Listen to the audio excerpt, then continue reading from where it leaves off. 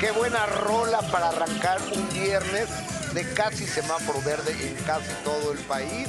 Oye, Carlos Arenas, qué mala onda que no viniste a, a- a darnos No, no five nos acá. Charlie ¿Qué? no se está ¿Qué? viendo. ¿Qué mala onda, Carlos? A- Arenas, Me quedé con qué la mano mala así. onda, ¿eh? Me quedé con la mano así. Eh, Así, así.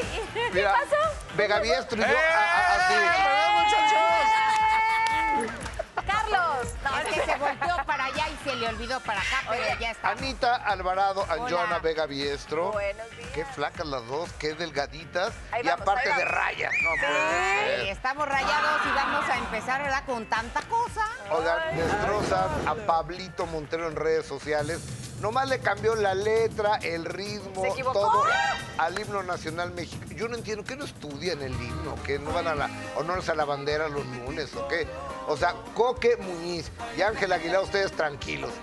Ustedes ya, ya les ganaron. y Victoria Rufo, ya muy tranquila, le manda un mensaje a Eugenio Derbez. Estaría dispuesta a fumar la pipa de la paz, todo por José Eduardo Derbez. Se van a sorprender. Uy, eso sí, lo quiero escuchar. Y bueno, es viernes, momento de relajarnos. Es la mejor noticia de todas. Y para cerrar la semana con broche de oro y de buenas, con una sonrisota, vean esta sesión de fotos que reveló Ricky Martin en sus redes sociales. Adelanta que se trata de un nuevo proyecto que será una sorpresa para sus fans. Hace un mes hizo una sesión muy atrevida, de hecho con un corsé metálico, con tacones, pero ahora esta es, digamos, un poquito más relajada, en su tina de baño, mostrando ese tatuaje que tiene en la pierna, tan hermosa pierna. ¿Ustedes qué creen que estará preparando? Disco. ¿Disco? Yo creo, Sí. gira o algo, Yo ¿no? creo que gira. Pues puede más- ser que sea una gira, ¿no? O ya que está de moda la serie sobre su vida. También, pues Ya. es que él tiene mucho que contar. Ya, y ya tiene libro, entonces Sí. se pueden basar en el libro que está muy bueno, yo ya lo leí. El libro Yo, ¿no? Sí, la verdad ese libro sí es de los que me gustó. Oye, otro hijo, Ay, ya, más, ya tiene cuatro, ¿no? pero ya. tiene para mantener esos y más. Ay, no, pero ya no está en edad. La verdad tampoco ya no está en Ricky edad. tiene que 50. 50, ya no. O sea, si los quieres ver crecer, No, pues. puedo, no, no puedo, no puedo criticar eso, Anita. No, porque tú eres mucho más joven. No, ¿o pero por pues, mi marido tiene 50. Ah, bueno, no importa. Están, no importa. son unos niños. Cada quien, entonces cuando Unos quiera. niños. Es un puberto tu marido. Total. Chamaco. Sí, claro, hasta acné tiene el pobre. A, a ver, fíjate, los 50 son los nuevos 30. Es correcto. El día de hoy. Antes la gente se moría a los 50 años, hoy se morir a 85, 90 años. Sí. Entonces los 50 son los nuevos 30. Eso es correcto. Oigan, y Victoria Rufo revela si aceptaría hacer las paces con Eugenio Derbez. Ya ven que tuvieron un hijo juntos y después de eso nada fue igual porque muchos años de distancia, de pleitos y bueno, ya ven que en el reality de los Derbez José Eduardo le dice a su padre, me voy a echar por la tirolesa, si me pasa algo avísale a mi mamá. Ajá. Y él dice, ay no, a tu mamá no le aviso. Y ella responde, Hace unos días, José Eduardo Derbez reveló que cuando tuvo su primera experiencia sexual, le contó a su mamá, quien hasta anotó la fecha del día en que sucedió. Y es la misma Victoria Rufo quien habló al respecto. Mira, mi hijo José Eduardo y yo fue una relación muy diferente porque éramos los dos nada más, no había un papá. Entonces, pues sí, yo creo que era demasiada confianza, ¿no? Conmigo. Pero no, creo que José Eduardo y Anuar y Vicky son iguales a la misma edad. ¿Anotó la fecha del día que.? Sí. ¿Eso fue cierto que lo anotó en la libretita? Sí, sí, es verdad. Sí, claro. Claro, eso no se me va a olvidar nunca. Fue una reacción muy bonita de mi hijo, la verdad. O sea, me, me- me sacó de onda cuando me lo dijo, obviamente, pero después reflexionas y dices, híjole, qué padre que tenga esa confianza conmigo y que sea la primera en saber sus cosas y sus, sus alegrías, sus tristezas, sus todo, ¿no? O sea, a la verdad me dio mucho gusto. La primera actriz se sinceró con la prensa y dijo si ha visto el reality show del que forma parte su hijo. Ah, que... No, yo no he visto ningún reality de eso. La invitación está bien. Mira, a mí lo que sí me ha gustado mucho es que la mayoría de la gente me ha dicho que José Eduardo se lleva el reality, que está muy simpático. Al preguntarle si algún día fumará la pipa de la paz con Eugenio Derbez, Victoria dijo, Ya son tantos años. José Eduardo acaba de cumplir 29 años. Entonces, a ver, eh, Eugenio tiene su vida hecha y yo tengo mi vida hecha. Lo que tenemos en común es un hijo maravilloso, José Eduardo, que José Eduardo ya lo ve y sale con él y, y su papá ya lo busca, que eso es importante también. Pero ya son tantos años, mm, eh, Eugenio y yo no tenemos contacto. A lo mejor debimos haberlo tenido cuando mi hijo estaba chiquito, no se pudo, pero ahorita ya ni chiste, ¿no? Este, esto- ni, ni estamos enojados ni no enojados. O sea, o sea, ya es historia. Ya sabes que yo soy la bruja maldita de este cuento. Este, y no importa. Soy Fanny Contreras y recuerda que solo aquí sale el sol. Ah, que mi Vicky. A ver, yo creo que ya es choro, ¿no? Ya, No, pero en un tiempo 25, acuérdate sí, que pero- cuando Eugenio empezó a hacer bromas hace no mucho, Vicky se molestaba. Pero yo creo que ya por fin entendió que José Eduardo le ha hecho muy bien llevarse con su padre porque dijo, ahora sí su padre lo busca. Claro. Hubo mucho tiempo en que Eugenio no tomó en cuenta a José Eduardo Derbez y tomó en cuenta a sus otros hijos. Y yo creo que ese era el coraje de Vicky. De Vicky.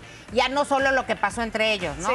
Sino que no tomen a tu hijo en cuenta, al A ver, pero y José Eduardo ya tiene 28 años. Sí. No, yo creo que pasado muchos 29. años. Victoria tenía 29. dos corajes muy, muy arraigados. Que uno era que solo buscaba a José Eduardo cuando necesitaba promocionar algo porque era el, el que físicamente era más parecido. De hecho, lo ponía como el mini Armando Hoyos, que se veía idéntico. Claro. Y que nunca, que Eugenio decía que Victoria Rufo sabía que la boda o que su boda había sido actuada. Y Victoria siempre ha defendido que eso no es cierto, que le dio la cara. Y Derbez, Derbez dice que ella sabía perfectamente que era una fiesta. Que era Por un eso, show. que era Sí, una sí, mentira. Y Victoria dice que eso no es cierto, que le vio la cara. Ahora, Derbez me dice que cuando están en el pleito del niño y demás, una abogada le dice, a ver, pero hay que buscar algo para fregar a este, ¿no? Y dice, es que un día me hizo una fiesta, vamos a decir que, que te engañó con la boda. Y que de ahí salió de una abogada de lo civil para fastidiar a Eugenio, según Eugenio. Claro, pero yo creo que ya eso se curó y la cosa es que también José Eduardo está contento con su papá, Sí. está también trabajando en el reality de los Derbez porque les pagan por eso y bien. Muy entonces ya Y también está haciendo algo en Televisa, ¿eh? Sí, entonces le ha de decir a su mamá, mamá, ya relájate, ya fue, ya pasó, no puedes vivir con rencor toda la vida. Y se ve que Vicky ya está tranquila. Y cada quien lleva una vida muy exitosa. Eugenio en Los Ángeles, con, con Alessandra, con Aitana, y siendo el comediante más importante de este país. Y Victoria, no solo siendo la reina de las telenovelas del mundo, sino además casada con Omar Fayad, el gobernador de Hidalgo, y con dos hijos a todo dar, Vicky y Anuar, y José Eduardo. Entonces yo creo que tienen la vida muy hecha los dos. Sí, sin duda. Así es. Pero el que no, el que no es Pablo Lael. Porque déjenme les cuento que no termina la pesadilla para el actor. Ayer hubo audiencia y se volvió a aplazar su comparecencia ante las autoridades de Estados Unidos, en donde sigue un proceso legal tras la muerte de un hombre con el que pues, el actor mexicano tuvo este incidente, que ya se lo hemos dicho muchas veces. Fue en 2019 que se baja del coche, lo golpea y lamentablemente esta persona muere. La defensa de Pablo Lael anunció que será hasta agosto cuando pues, se realice el juicio. El abogado del actor Bruce Lear afirmó que se solicitó más tiempo a las autoridades para llegar más preparados para defender al actor acusado de homicidio involuntario, pues de ser encontrado culpable, él podría alcanzar penas de entre 10 y 15 Pucha. años de prisión. Le han negado la salida del país pese a las solicitudes para volver a México para trabajar y costear su defensa legal, porque recordemos que desde que inició esta situación, él no ha podido trabajar. Trae el grillete, no le permiten venir a México, entonces es una situación complicada porque además en Estados Unidos, si algo es caro, son los abogados. Yo casi creo, casi creo que no va a librar la cárcel porque este juicio se ha complicado, porque los jueces siempre han negado todo lo que Sí. pide la parte de la defensa, porque al final finió- falleció un hombre. Sí. Entonces, por lo que yo veo y oí del abogado el día de ayer, lo que quieren es presentar pruebas, testigos para bajar la pena, pero de que va a haber pena de cárcel, va a haber pena de cárcel. Pero entonces yo creo que se equivocaron en eh, que Pablo dijera que es no culpable. sí, Porque ahí es cuando te vas. Ellos pensaron que iba a ser más, Más fácil, fácil. pero han presentado recursos y todos se los echan para atrás. Y todo. no sé, no sé si él pueda cambiar ya su. No, Ya no puede, como ya no puede decir que es culpable. Creo que no, Ya ¿eh? se como puede te declaras de inicio. Entonces, como ellos están tratando eh, de usar su no inoce- su no culpabilidad, luego No intentaron, guilty. ajá, intentaron, ¿sabes qué? A usar la ley de Florida de defensa de propio, ¿te acuerdas? Sí, También sí. se lo echaron para abajo. Han sido muchas, entonces yo lo veo complicado. Sí, lo a- que están buscando es menos años. Allá se llama Stand Your Ground, que es- pero no, lamentablemente Sí. no, porque esta persona, Juan... El señor que Juan murió. Ricardo, Juan Ricardo se llamaba? Hernández, sí. Juan Ricardo Hernández eh, se baja en contra del cuñado de Pablo, lamentablemente. O sea, Pablo se baja después. Eso es lo que está peleando eh, la familia del señor Hernández. Híjoles, moraleja, hay que pensarlo muy bien antes de agredir a una persona, sea quien sea, porque por un momento de ira le puede costar 20 años de su vida. Aquí hay dos familias destrozadas. Es una realidad. O sea, por un segundo de, por 10 segundos de ira. Claro. Vamos a darle vuelta a la información tras la expectativa y sorpresa que provocaron Belinda y Cristian Nodal con la noticia de su compromiso, el anillo carísimo y demás. Ahora hace falta la reacción de Lupillo. Rivera, quien la trae en el brazo. Él asegura que ha estado acosado por la prensa y que, Ay, bueno, le han enviado, dice él, que hasta helicópteros que sobrevuelan su casa. No. O, o sea, Ay, Él subió ese video. Pero para preguntarle de Belinda es broma, ¿no? No, ¿Sí, sí es ¿será? cierto?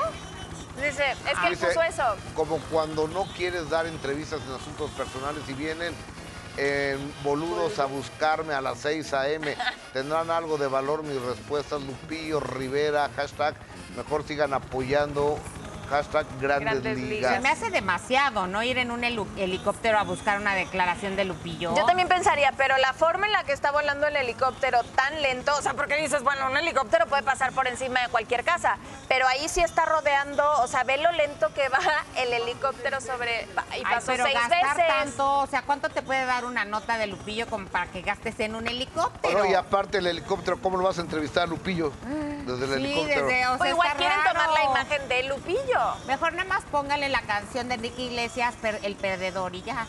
O sea, es que no han oído esa letra. Oye, Anis, que ¿no? prefiere que ella sea feliz porque él es un gran perdedor, ¿no? Pero es que está Ah. aceptando que la que fue su amor esté con alguien más. La Ah. canción del perdedor es muy bonita de Enrique Iglesias. Es de superación. De superación. Yo me la no imaginé así como la de ojalá que te mueras. No, no, pues no, de que él fue el perdedor y pues hay que aguantar. Ah, ok.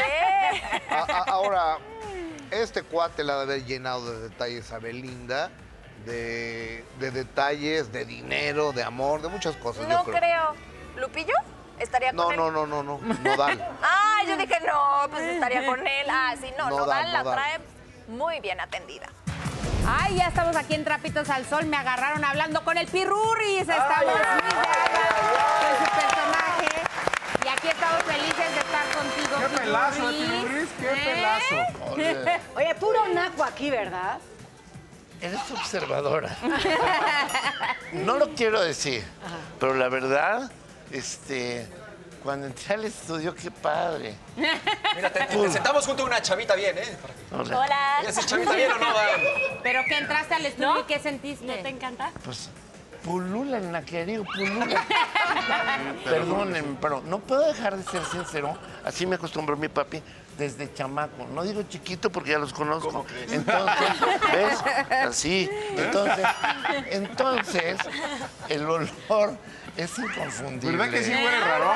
No, huele raro huele, el huele a metro y a papaloquelite. ¿Quién se, ve más, ¿Quién se ve más nacón de aquí, de los que estamos aquí sentados? ¿Quién es el más nacón? Ay, pues el que pregunta.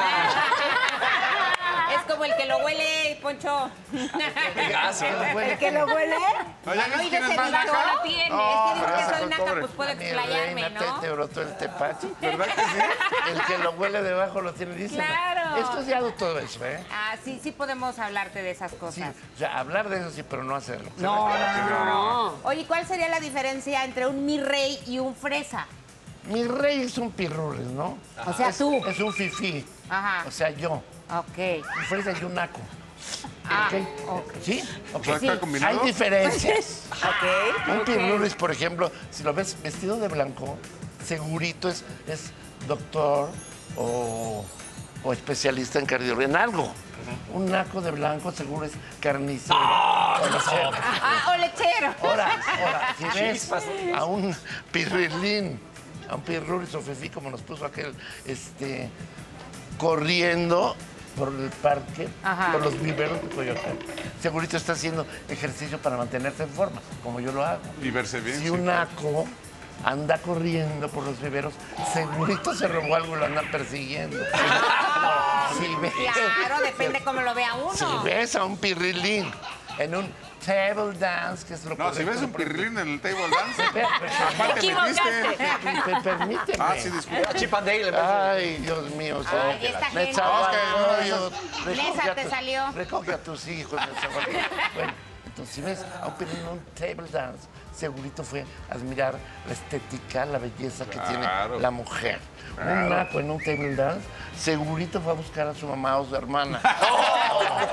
Finalmente, si ves, si ves a un pirrilín con un micrófono de- ante una cámara, segurito está dando una conferencia acerca de sociología, política o economía. Sí, claro. Un naco detrás de una cámara, segurito es conductor de espectáculo. Ahí está Blanca Yo me declaro como naca, está perfecto.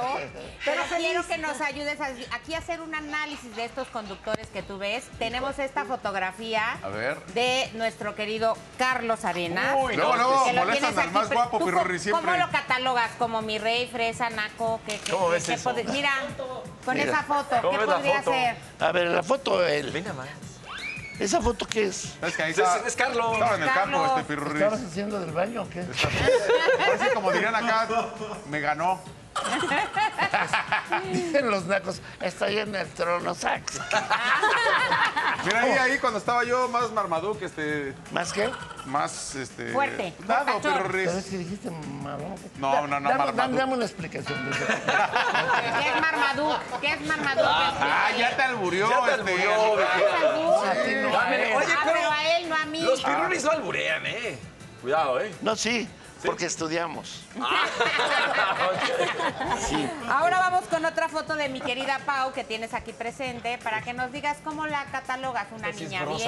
bien, Esta sí es bien acá, en serio. una niña nice, macuana. Ve- nomás Esa nacada. Él parece que está calabaceando. Y estaba esperando el camión y así estaba sentada. ¿Por qué se sentó ahí en esa silla de esa manera, no? Bueno, es que es la belleza campirana. Con el vestido No, capirano, no, no se, no se rían. Es la belleza de, de salvaje. indígena.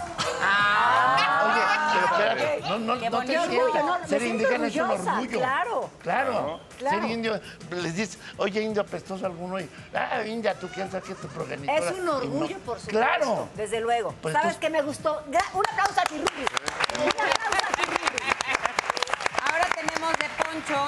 ¿Eh? Bien. Poncho, a ver, sí, ¿qué, qué podría ¿eh? decir? Sí, A oye, ver, sí, a ver. ni ¿Crees cómo que sea, ayudarlo, ¿crees pirurris. que Ahora sea un niño ¿Cómo bueno es? como No, parece? hombre, este, ay, Poncho, Mira. la verdad, la verdad estás para disecarte. O sea, estás espantoso. Y luego con, con los pelos es estilo Oaxaca para arriba, Oaxaca. No, con todo respeto para los de Oaxaca, ¿eh? pero sí estás feito. ¿Sabes qué? Mira, con mis bocas de plumas. Dice que está feíto. Poncho, no te quedes tan serio, Poncho. No, te ¿sabes- queremos. ¿Sabes qué? ¿Te gusta el fútbol, pirulis, a ti?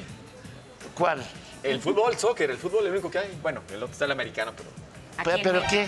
Los Pumas. Clásico naco. ¿Nunca has ido al El estadio? otro es, pues ese es el efectivo, el otro. No, este es... A- Aquí los ¿Tú a qué equipo le A vas? los Pumas, claro, pirulis. Bueno, ¿ganaron o perdieron ayer? No jugaron. Jugó Cruz Cruz Azul Santos. ¿Y quién ganó? Cruz Azul Cruz 1-0. Azul. ¿Cruz Azul? ¿En serio? Pero tú sí te gusta el fútbol, Pirruris, o puro golf. No voy, pero nomás voy a observar. Ah. Es que el A ver, ¿qué piensas de mí? Yo voy a, yo voy a, a CU a ver a los Pumas cada, cada 15 días. ¿En qué, en, Sí. qué, ¿En qué viajas? Ah, en un cochecito ahí que tengo. ¿Qué, qué coche? Es una camionetita. pues, No es cierto, tiene un. Ferrari. No, no es cierto. Pero, pero llego ahí, este, la net sí, me embriago los domingos, ¿eso qué tal es? Con mis cervezotas y me echo unos cueritos. Me embriago, quiero pensar que te refieres a remojarte los labios con bebida etílica. Con la chelota. O sea- con o una serpiente bien elodia. Hijo de la. Por donde quiera te brota el pulque. Sí te brota, ¿eh? Oye, y ahora vamos a pasar con Talina, porque es una Ah, mujer en toda la extensión de la palabra que siempre parte plaza. Pero vamos a ver qué diría el pirurris de una mujer como Talina. Tan bella, miran Pero ahí esas están las fotos, fotos. pirurris, mira. Mira qué belleza. ¡Órale, Talina! Como que Claro, esas, tómamela, como que no me di cuenta, mira. De Talina les voy a suplicar que no me digan nada. Ah, Hay cosas que la gente no sabe, pero la conozco. ¿Anduvieron, Pirurris? La neta. Bueno, Un besito. Un, un un caballero no tiene memoria. Pero Talina sí, sí la tiene. Un besito por lo menos al pirurris. No, pues em, nos rodamos en una colina. Y eso a poco es muy fino, pirurris. ¿Viste que tú dijiste ¿Eh? que llenamos la, la tina de champaña? ¿Te acuerdas en Acapulco? No, en Acapulco. ¿En Acapulco te acuerdas de eso? Eh, Claro, ¿te acuerdas cómo quedé como empanizada? De Acapulco.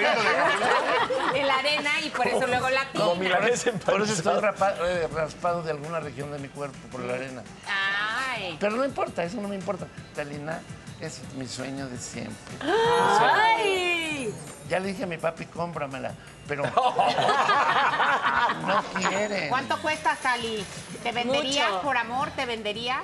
O gratis con este caballero. No, gratis Claro. con él. por Dios. ya te lo conseguimos gratis. Pero sí, espe- sí esperarías un buen regalo, ¿no? De, de, de, pirurri. Mira, un brillante como el de Nadal, ese guate que le Nodal, regaló. una- ¿no? Ándale, como el de Nodal. Por favor. Tres millones de O sea, dólares, que son O sea, para para mí un regalo, te lo juro, o sea, de lo que tú me pidas, yo, para mí, gastar 50 dólares me vale más, ¿ok?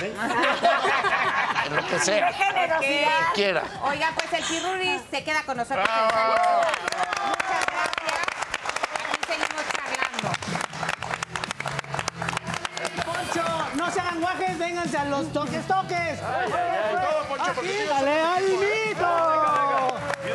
es casualidad que esté con nosotros el urgenciólogo Edgar Díaz. Espérate, son equipos, entonces. Va a ser equipos como siempre. Vamos a preguntar, va a ver, preguntas. vamos a poner las reglas, perdón. Ok, va. Si nosotros le atinamos, Ajá, nos dan los toques les damos toques a ustedes. Y, viceversa. Pero ¿quién va a dar los toques? Porque se Oye, sí, manchan. Ah. Ya me tocó ver cómo lo hiciste la vez pasada. Vamos lo a comenzar, muchachos. Va la ¿eh? primera. Pero debería de haber alguien para los le toques. voy a ver, dar. vamos a le ponernos voy. de acuerdo, ¿Mito Charlie. Sí. o realidad que los dolores de cuello se quitan dándote masaje con un calzón? ¿Es albur? No, no, no, es ver. realidad. A- a- Hasta yo le voy a dar los toques por lo A que ver, doctor, ¿qué es? Ya me dio miedo. Mito. ¡Ay, no! A ver, antes de A ver, darle, de ver, va. sacarte el susto, mi rey, Va. porque es mito. Miren, una real, la realidad es que sí se tiene que dar de pronto cierta fisioterapia, pero no es necesario que sea con un Con calzón. calzón. O sea, definitivo. Es A más, mejor por lo es- calientito, Este ¿no? fin de semana, es- esta semana tuve una paciente precisamente con eso. O sea, se tiene que valorar dar analgesia. Ya, ya ¡Poncho! ya, ¡Poncho! eso, Espérate, espérate, espérate, No espérate. sí, sí, sí. Bien. vas, Poncho. vas. Una, dos, tres. No te manches. ¡Ay, ay, ay! Oye, oye, si hab- hablas inglés, ¿verdad? Mito o realidad que si te pegas en la cabeza no te debes sobar. Si te pegas en la cabeza, No no, te te, debes debes de sobar. sobar. ¿Qué A ver, que si es? es un golpe, nada, no pasa nada si te sobas. Que no. Sí, no estamos Mito o realidad. Te puedes sobar. Sí, te puedes Por sobar. eso perdieron No, perdieron ustedes. ustedes. No, no estás loco. A No, ver, sí. las La pregunta. ¿Verdad que perdieron? Ah, órale, sí, agarra No, al van doctor. ustedes, ya se Ahora van. mí. Vas, vas, vas, Órale. vas. No me voy a manchar, ¿eh? No. A ver, está. A. Vas, vas, vas, vas, bien, vas, bien, vas, ya, bien. ya, con Ni eso. le dices. ¿Cómo no? ¿cómo? ¿Verdad que sí le dio? Grita Sí, sí, Manolo sí, y el doctor ni se mueve. porque él es más macho que yo. Bien. Vamos Vamos. con la siguiente. Ya hasta estudié medicina para venir a esta sección. Mito ¿eh? o realidad Ya que el estudiaste, hipo puede ¿no? provocar ¿Que qué? un infarto. El hipo puede provocar un infarto. ¿El Mito, hipo? Porque, espérate, porque se te... ¿Se te qué? Mito o ¿Un realidad. infarto? No, ¿cómo crees? Pues sí, porque ¿Cuándo dejas, dejas de respirar, pero hipo? estoy contigo, Poncho. No, no manches. Mito. ¿Qué es? Mito o realidad. Pues, ¿qué crees? Que es realidad. Te dije, Poncho. Ahora sí les va la buena. Te dije porque Vamos, vamos, vamos. ¿Por qué? ¿Por qué? Toques, toques, ¿Por qué toques. Primero dale los toques. A ver, A ver, Primero dale los toques. me Primero dale los ¿eh? toques. Yo me Primero bien, dale los Manolo. toques. Primero dale los toques. Tranquilo. En serio, no te pases dale los Una, toques. dos. Me desquité de la, semana pasada. ¿Qué me hiciste? Se lleva, se ¿por qué aguanta, ¿eh? No, la, la verdad es que sí es un mito, güey. Ahora por payaso. Ahora, ahora no se pero, pero llevan dos seguidos. Ahora no se agarren. Por manchados, agáchense. Vamos con la siguiente, muchachos. Chistoso, solo el doctor. Ahora le vas tú solito. Va, pero no te vayas a manchar, pues, eh. va. Dale. ¡Ay, sí! ¡Ya! ¡Me dio la mitad! Vamos a irte. Mito o realidad que si te estás ahogando debes alzar la cabeza. Si te estás ahogando. ¿Cómo que se Ahogando, sí, si te estás ahogando, alza la cabeza. Sí, cuando dicen No. esto de pajarito, Mito, pajarito. mito, pasa. mito, mito, pues, ¿Cómo Sí, que sí, debe haber algo así más. También es mito, oye. No, no, no, es, esto ya. ¿Sabes qué? A Manolo, porque Aldo se es mala onda. No, porque no, se no, no, no, no, no, porque te Ahora todos, ahora todos. Permíteme. Poncho, permíteme. Permí- Por solidaridad. Muchachos. Aquí todos, ahí sí. ¿Qué Manolo? ¿Por qué haces cara? Sí me- Bueno, ¿qué sigue? A ver. Mito o realidad que si te machucas un dedo te tienen que hacer chocolatito. Es decir, No, pues, masajarlo así como duele con el- peor. ¿Estás conmigo, Poncho? Pues sí, el término chocolatito, nada más por eso no puede ser realidad. ¿Quién hizo las preguntas, eh? Sí, es. Esto es un complot. Sí. Esto es un complot. ¿Quién? ¿Quién ¿Qué hizo fue? las preguntas? ¿Quién hizo las Ya preguntas? díganos. ¿Mariana? ¿Quién? Mito o realidad. Maite, ¿Qué? Maite. A ver, Maite. por Maite, yo- Ok. ok. Maite. A ver, está A ver, Maite. A ver, Voy para allá, espérate. ¿Dónde está Maite? Espérate, Pero Charlie, mientras tanto, Charlie, Charlie, Charlie. en lo que llega ver, Maite- El término de chocolatito como tal definitivo, no, ¿eh? No o sea, ahí sí estamos de acuerdo. pero el masajito. Pero masaje puede ser, aunque Ándale, yo no, re- yo no lo recomendaría porque si, incluso si tienes una fractura, una cosa así, Poncho. Ándale. Es bien manchego el Poncho, Sí, ¿eh? sí, sí. Ay, ay, ay, ay, Oye, pero al no le hace nada y tú te pones como No, no. señorita. Oye, y no solo eso, luego en la pachurrón que le doy. Sí, no, no, no, no. A ver, venga la otra. Poncho, tú hiciste las preguntas. No, ¿verdad? fue Maite, pero ya se Hay que perder por compromiso, Poncho. Mito, es la última. ver. Mito o realidad que si te dan toques, este provoca caída de pelo. No, ¿sabes qué? No tenemos compromiso de nada. La, la neta, no. Pues creo que no. Mito es un mito. Imagínate que el perro Bermúdez ¿Por se queda- están manchando Vamos mucho? a darnos todos. Pásale, ¿Qué te pásale, pásale, pásale, Vamos todos, órale, pero todos, todos, todos. Ya con eso. Así fue, atínale al mito y salimos quemados Bermúdez, me quedé. Buenazo. Oigan, familia, vamos a pasar a otra cosa. Gracias, mi doc. Perdón, y Ponchito es medio manchegón. Oigan, familia, está con nosotros un hombre que, bueno, para muchos de nosotros es un ejemplo a seguir. Nos encantan las cosas que nos dice. Siempre el que vengas aquí, amigo, es un gran placer. Te voy a dar un abrazo. Mi querido Dani, es un placer. Cariño. Te vimos hace unos días y ahora es un placer que estés otra vez aquí, hermano. Gracias, muchas gracias. Siempre es un placer regresar, brother. Me siento como en familia siempre. Esta es tu casa. Muchas gracias, querido. ¿De qué nos vienes Muchas a hablar? ¿Qué nos vas a platicar? Pues, ¿cuántas veces no vemos pasar un tren de oportunidades y no nos subimos por miedosos o por temerosos o por mediocres o por... ¿Y cuántas veces pasa ese tren? A lo mejor solamente pasa una vez, ¿no? Así mismo, así mismo. Y luego cuando pasa, nada más vemos cómo se va alejando y después decimos, bueno, ese sí era mi tren y después nos culpamos y nos victimizamos y juzgamos a la vida y a nuestras circunstancias. Hermano, te quiero escuchar. Dale, hermano. Gracias, Dani. Gracias. Bueno, queridos, tal y como lo estamos platicando, una decisión pues solo se materializa cuando es capaz de movilizarte. Cuando se convierte en ese combustible que, que hace arder la chispa del deseo para que la puedas convertir en una llama de acción. Hay que aclarar algo, en esta vida es mucho, mucho más importante estar dispuesto que estar preparado, porque el momento perfecto no existe. Eso es una mentira, es una falacia, es una ilusión arraigada en el tiempo, en el temor, en el miedo, y lo único que existe pues son las oportunidades de la ahorita, ¿cierto? No existen los errores del ayer, no existen los errores del mañana, solo existen los errores de no intentarlo ahora. Así que lánzate, sin prisa, por supuesto, pero sin pausa. Y si te vas llenando de temor en algún punto del trayecto de tu vida, bueno, pues sabrás que vas por buen camino, porque hay que aclarar algo. El miedo también es la señal de que valdrá la pena intentarlo. Hay pequeñas dosis de temor en la vida que te vacunan ante la vida, pero que estas dosis de temor no invadan tu mente ni comiencen a hollar tu espíritu para que termines metido en una jaula. No vas a obtener absolutamente nada de lo que no estés en absoluta disposición de buscar y de tomar por cuenta propia. Hay personas que esperan prosperidad, que esperan salud, que esperan amor y que creen que todo eso llegará solamente por tener esperanza o por estar orando únicamente. Miren, queridos, la oración es importante, pero la oración no solo es útil para pedir, la oración está a nuestra disposición principalmente para adquirir las fuerzas necesarias para salir a buscar eso por lo que tú y yo oramos. Las oportunidades, queridos, son un tren que suele pasar de madrugada y sobre todo mientras que tú estás durmiendo porque piensas que tienes que estar descansando. Ese tren pasa rápido y muy rápido y por lo regular no hace paradas. Casi todos lo ven pasar, pero no se suben. No lo hacen porque para subirse, coño, hay que pagar un boleto. Es que queremos la oportunidad sin pagar el precio. Por el contrario, se supone que nosotros deberíamos de abordar ese tren sin importar si estamos lo suficientemente entrenados. Porque cuando vemos pasar ese tren, muchos solamente lo miran. Y miran los vagones mientras que pasan uno tras otro, tras otro y titubean, me subo, no me subo. Y ni siquiera se preguntan si está bien, si va a estar padre, si va a estar cómodo. ¿Será este el tren que siempre he estado esperando? No, queridos, los audaces no piensan en nada que los pueda detener. Porque escuchan venir un tren a kilómetros y se preparan, comienzan a sudar, lo divisan, miden la distancia, la velocidad y cuando pasa delante de ellos el tren, ¡bam! Se suben, carajo. ¿Y qué pasa con los que están arriba de este tren? ¿Qué pasa con quienes ya han abordado este tren?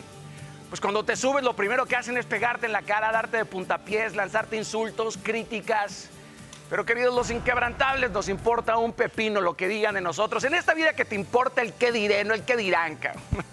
Porque las burlas ni los raspones nos tienen que detener cuando nos encontramos frente a nuestro destino.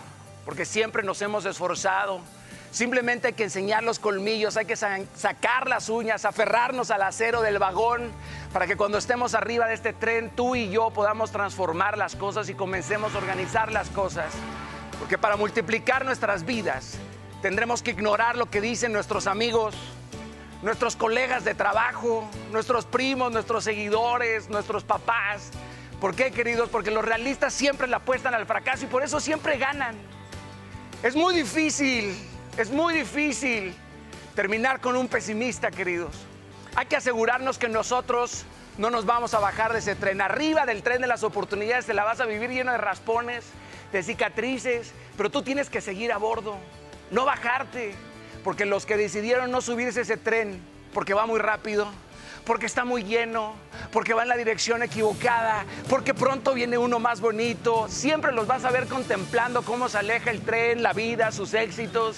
Y cuando el tren se aleja, es justo ese momento cuando se lamentan y dicen, caray, ese tren era el mío, me lo perdí. Y después culpan a la vida y a las circunstancias, mientras, mientras que son aniquilados por sus inseguridades. Pero tú, querido, ya vas arriba. Y desde arriba vas a ver cómo la gente se va poniendo chiquita en el andén. Y por fin tú vas a poder agradecer no haberlos escuchado. Sueña tan grande hasta que te tiemblen las malditas piernas.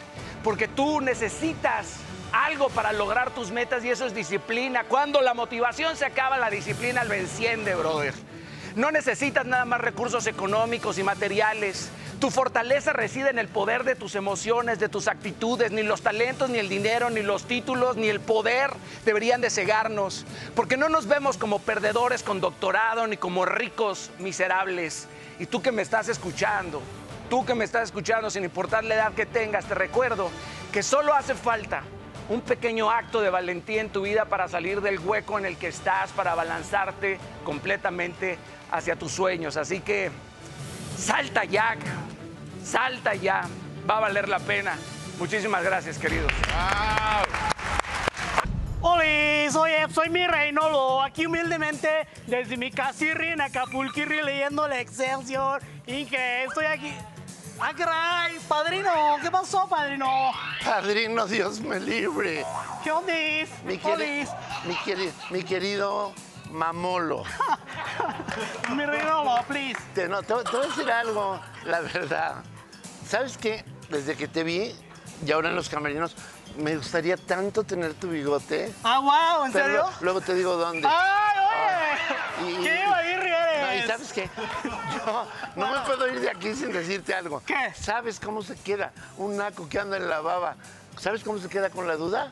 ¿Cómo? Mañana te digo, mi rey. ¡Ay, pues mi rey! ¿Sabes qué? Mejor vamos con el mi rey noticias. Enrique Henry Villanueva, que ese sí es niño bien de toda la vida. Vamos para allá picando, Henry. Ahora sí se lo chamaquearon. Es que pues No, está no, el es que el Pirurris es un Sí, sí, semidios. sí. Que no le entendí. ¿Ahora era el chofer del pecero de la semana pasada o no? ¿O quién era? No, era un, un mi rey. Ah, ok, Era un mi perfecto. rey. Es como palazuelos. Exactamente. Señora, ¿cómo está? Excelente cierre de semana. Ay, mi amor, viéndote desde tempranito, pónganle Canal 3 Sí, desde caray. muy temprano. Con Paco Sea está Enrique. Ahí estamos, y ahí se estamos. entera uno de todo. Y es que traemos, hoy traigo buenas noticias. Traemos buenas Ah, noticias. bueno, vamos a empezar, vamos a cerrar la semana con una buena noticia. De entrada, bueno, la COFEPRIS ya dio a conocer que aprobó la vacuna de Johnson Johnson. Esta vacuna que. ¿Es de una eh, apuesta? Exactamente, tiene muy buenas cosas. De entrada, que es una sola apuesta, lo que hace ideal la vacuna para poder llevar el fármaco a lugares lejanos, en donde podría ser complicado ir a seguir la- a ir a dar la segunda dosis. Entonces llevas esta. ¿Cuál es la efectividad de la vacuna? La efectividad de la vacuna es 67% eficaz contra el virus.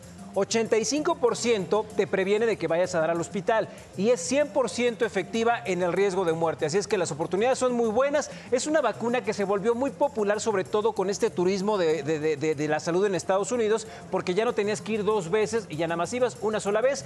Tiene algunas eh, reacciones como cualquier otra vacuna, pero nada de, hasta ahorita con los casos que he conocido que se han aplicado esta vacuna, no va más allá de 24 horas, igual y un poquito de febril, este, a lo mejor cuerpo cortado, pero está bien. cabeza. Exactamente. Y es muy recomendable. Entonces, pues obviamente esto es buena noticia porque son más vacunas las que se suman al, eh, al país. Buenísima noticia. Eh, y se acuerdan, tuvo una polémica. De hecho, en Estados Unidos se suspendió Sí, un durante un tiempo. Pero bueno, eh, a final de cuentas hay que, hay que ponerse esa vacuna si es que nos toca. Maravillosa, ¿no? Y es que lo que dice Poncho es muy importante. Ojo, cuando se presenta algún tipo de problema con estas vacunas que son nuevas, el protocolo dice, suspendes, investigas, ves si realmente el riesgo está dentro de lo probable y después continúas. Por eso te- de repente las suspensiones causan mucho, mucho eh, ruido. Oigan, y hablando de las vacunas, Poncho, te tengo una buena noticia. ¿Cuál? Ya nos vamos a poder vacunar. Ya nos vamos a poder eh, Resulta vacunar. De que los las- de 40 a 50. Exactamente. Hombre, de 40 qué bien, a qué 49 alegría. años ya nos vamos a poder ir a registrar. Recuerden, el registro se hace a través de la página que ya conocemos, vacuna.salud.gov.mx. Lo único que necesitan es eh, poner el CURP ahí y ya con eso. También, ojo, recuerden que está habilitado para mujeres embarazadas mayores de 18 años, pero a ver, aquí quiero hacer un paréntesis. ¿Qué cree, señora? ¿Qué, mi amor? Ha habido muchas mujeres que se hacen pasar por embarazadas para que las vacunen. Y ¿Qué como, tranzas, como me está diciendo la voz de mi conciencia, no es embarazo, es panza natural. Entonces creo que aquí yo creo que es un poquito de No se honestidad. vale, no se vale. Porque como no les piden una prueba tal cual, y pues digo, ni modo que lleves el ultrasonido, entonces ahí eh, hay que pedirles un poquito de honestidad, de verdad. Yo creo que todos nos queremos vacunar, pero híjole, no empecemos haciendo este tipo de cosas. Sí, no, está, está muy chafa y creo que, como de repente criticamos muchas cosas, eh, creo que creo que en México, en términos generales, y conforme es la realidad de esta pandemia, se está llevando a cabo un buen programa de vacunación. ¿Sabes Eh, que la me he verdad dado cuenta? es que se está haciendo que hay bastante mucha bien. gente, más gente de los 60 para arriba que de los 50 a los 59. Y de los 40 a los 49 también somos un montón. Entonces, en breve vamos a ser, pues ya, puro viejito. Ojalá, mis cielos. Muy, muy sabios, muy sabios. ¿Qué sí, otra buena De verdad, noticia pórtense bien, por favor. No hagamos cosas buenas que parezcan tarugadas. Oigan, y ahora, otro tema polémico. Vamos con el tema de las clases presenciales. Estamos a una semana de que esto podría pasar. Autoridades de la Ciudad de México pidieron a los directores tanto de escuelas públicas de preescolar, primaria y secundaria que realicen una consulta con los papás sobre el regreso a clases. Estos resultados serían tomados en cuenta en la sección extraordinaria del Consejo Técnico Escolar para definir qué acciones podrían ser.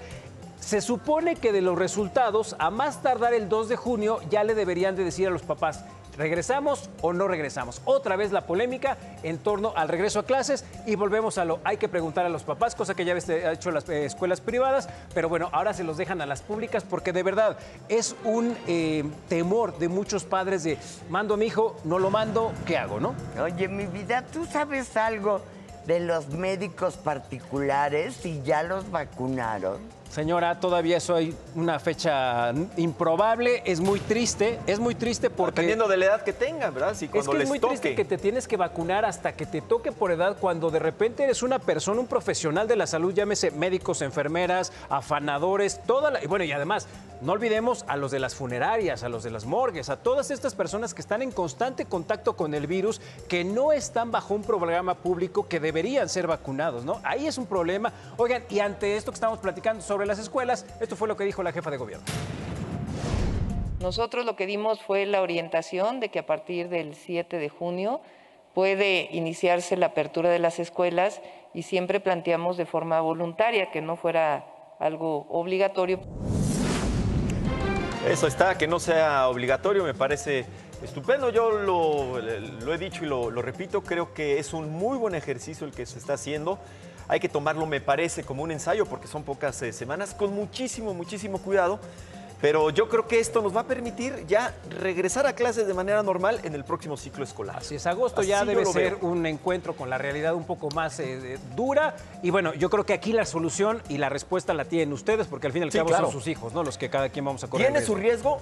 Por supuesto que sí, porque estamos en una situación de riesgo, es una pandemia. Exactamente. Hacer cualquier acción que, que represente salir tiene su riesgo. Pero bueno, con muchísima precaución, con inteligencia, con prudencia, creo que eso nos puede llevar a que para el mes de septiembre, Agosto, finales de agosto, 21, septiembre, 27 de agosto más o menos. regresemos ya, Dios quiera, de una manera normal a las actividades escolares. Y ahora que hablas de prudencia, si usted el fin de semana va a salir, ahorita está muy de moda irse a la naturaleza, porque pues obviamente es al aire libre, no hay mucho riesgo, pero ojo, hay que ser muy cuidadosos con la naturaleza. Después de esta pandemia tenemos todavía una lista de pendientes que nos están esperando, sobre todo en materia climática. La Organización Meteorológica Mundial dijo que hay 40% de probabilidades de que el mundo se caliente más en los próximos cinco años de lo ya caliente que está, a tal grado que supere cualquier límite del Acuerdo en Climático de París. O sea que para el 2025 el mundo podría vivir su año más caliente, lo que va a generar un caos. Tanto ¿Ya no va a servir el Acuerdo de París? Exactamente, ¿por qué? Porque desafortunadamente tanto industrias como seres humanos, pues le estamos pegue y pegue y pegue al planeta y miren, a ver, no creo que nos acabemos al planeta. Lo que sí puede ser es que la madre naturaleza se enoje con nosotros y diga, ¿saben qué, Squinkles? Ya, adiós, vámonos. Si acabé con los dinosaurios, ustedes me sirven para nada. Bueno, abusados, ¿no? Pues ha acabado con muchos dinosaurios, pero no con otros, ¿eh? Ah, ese es bueno. Eh, le mando un saludo al señor Bartlett. Se lo- Hay que se- pedir se te va a ir la apoyo. luz en tu casa, hijo. Pero bueno, oigan, necesitamos de su apoyo, por favor. 20 segundos de su tiempo. Esto es bien, bien importante. Por favor, vean la foto. Ella es Yolotzi Valencia Ramírez. Tiene 14 años de edad. ¿Por qué es tan importante que la vea? Porque fue, por última, fue vista por última vez el 27 de mayo, ayer nada más, en la colonia del Sol, en el municipio de Almoloya de Juárez. Recuerden que si la han visto, estos minutos son vitales para poder encontrarla a salvo. 805-090927, 805-090927. Seamos ojos y oídos, pero sobre todo hagamos comunidad. Hay que, hay que apoyar. Buen fin de semana. Pajarraca. Y andamos por acá, ¿verdad, Héctor? Yo, Baile y baile con actitud de viernes. Oigan, pues hace unos días se publicó que la malandrina de Sofía Castro había usado sus influencias, o sea, habían dicho que era malandrina, porque había usado sus influencias para tener preferencias y realizar de inmediato un trámite de la credencial del lector y que se había saltado la fila, por eso digo malandrina. Así la habían tachado de malandrina, pero ella cuenta la verdadera historia. Sofía Castro rompió el silencio tras los ataques que recibió por parte de cibernautas, que aseguraban hace unos días se metió a la fila del Instituto Nacional Electoral INE para sacar su credencial de elector. Me colé en la fila del INE. Ay, Dios mío, ya, por favor. ¿Qué voy a decir? A ver, dime tú qué voy a decir. ¿Tú crees que me colé en la fila del INE? No, pero la pues gente que- piensa que colarte en la fila del INE es como colarte en la fila del súper. No es así de fácil. Yo hice mi cita con mucha anti- anticipación por el mismo tema de los llamados. Llegué, me pasaron, no había gente, la gente que estaba formada era gente que iba a recoger su credencial. Yo iba a hacer otro tipo de trámite. No, muchachos, yo creo que esto ya lo están usando para distraer. Yo ya, por favor, con ese tema ya. el lugar con un Por favor. mentiroso. Pero ¿cómo también? No se puede. La actriz aseguró estar impactada del poder de las redes sociales, ya que no es la primera vez que se enfrenta a polémicas de este tipo.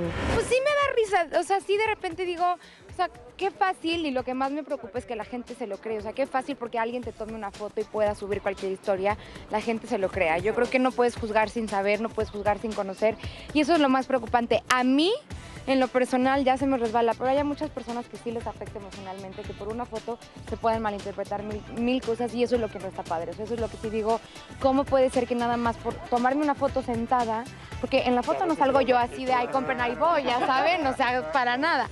Entonces eso es lo único, pero la verdad, pues mira. Y así respondió si era verdad que recientemente se habría sometido a una cirugía estética en el rostro. ¿Ustedes qué creen, muchachos? No, claro que no. Y, y ojo, ¿eh? No tengo nada en contra de las cirugías. Al contrario, este, creo que cuando algo no te gusta, lo puedes, si lo puedes cambiar, qué mejor. Yo no me echo nada el día que me haga algo, muchachos, se los diré. No, yo des- cuando esconden las cirugías, pues la verdad es que yo no sería, yo no sería de esas. Entonces, cuando me haga algo lo van a saber, pero no. Crecí, me hice un poquito más mujer y estoy metida en el gimnasio. Fanny Contreras y recuerda que solo aquí sale el sol.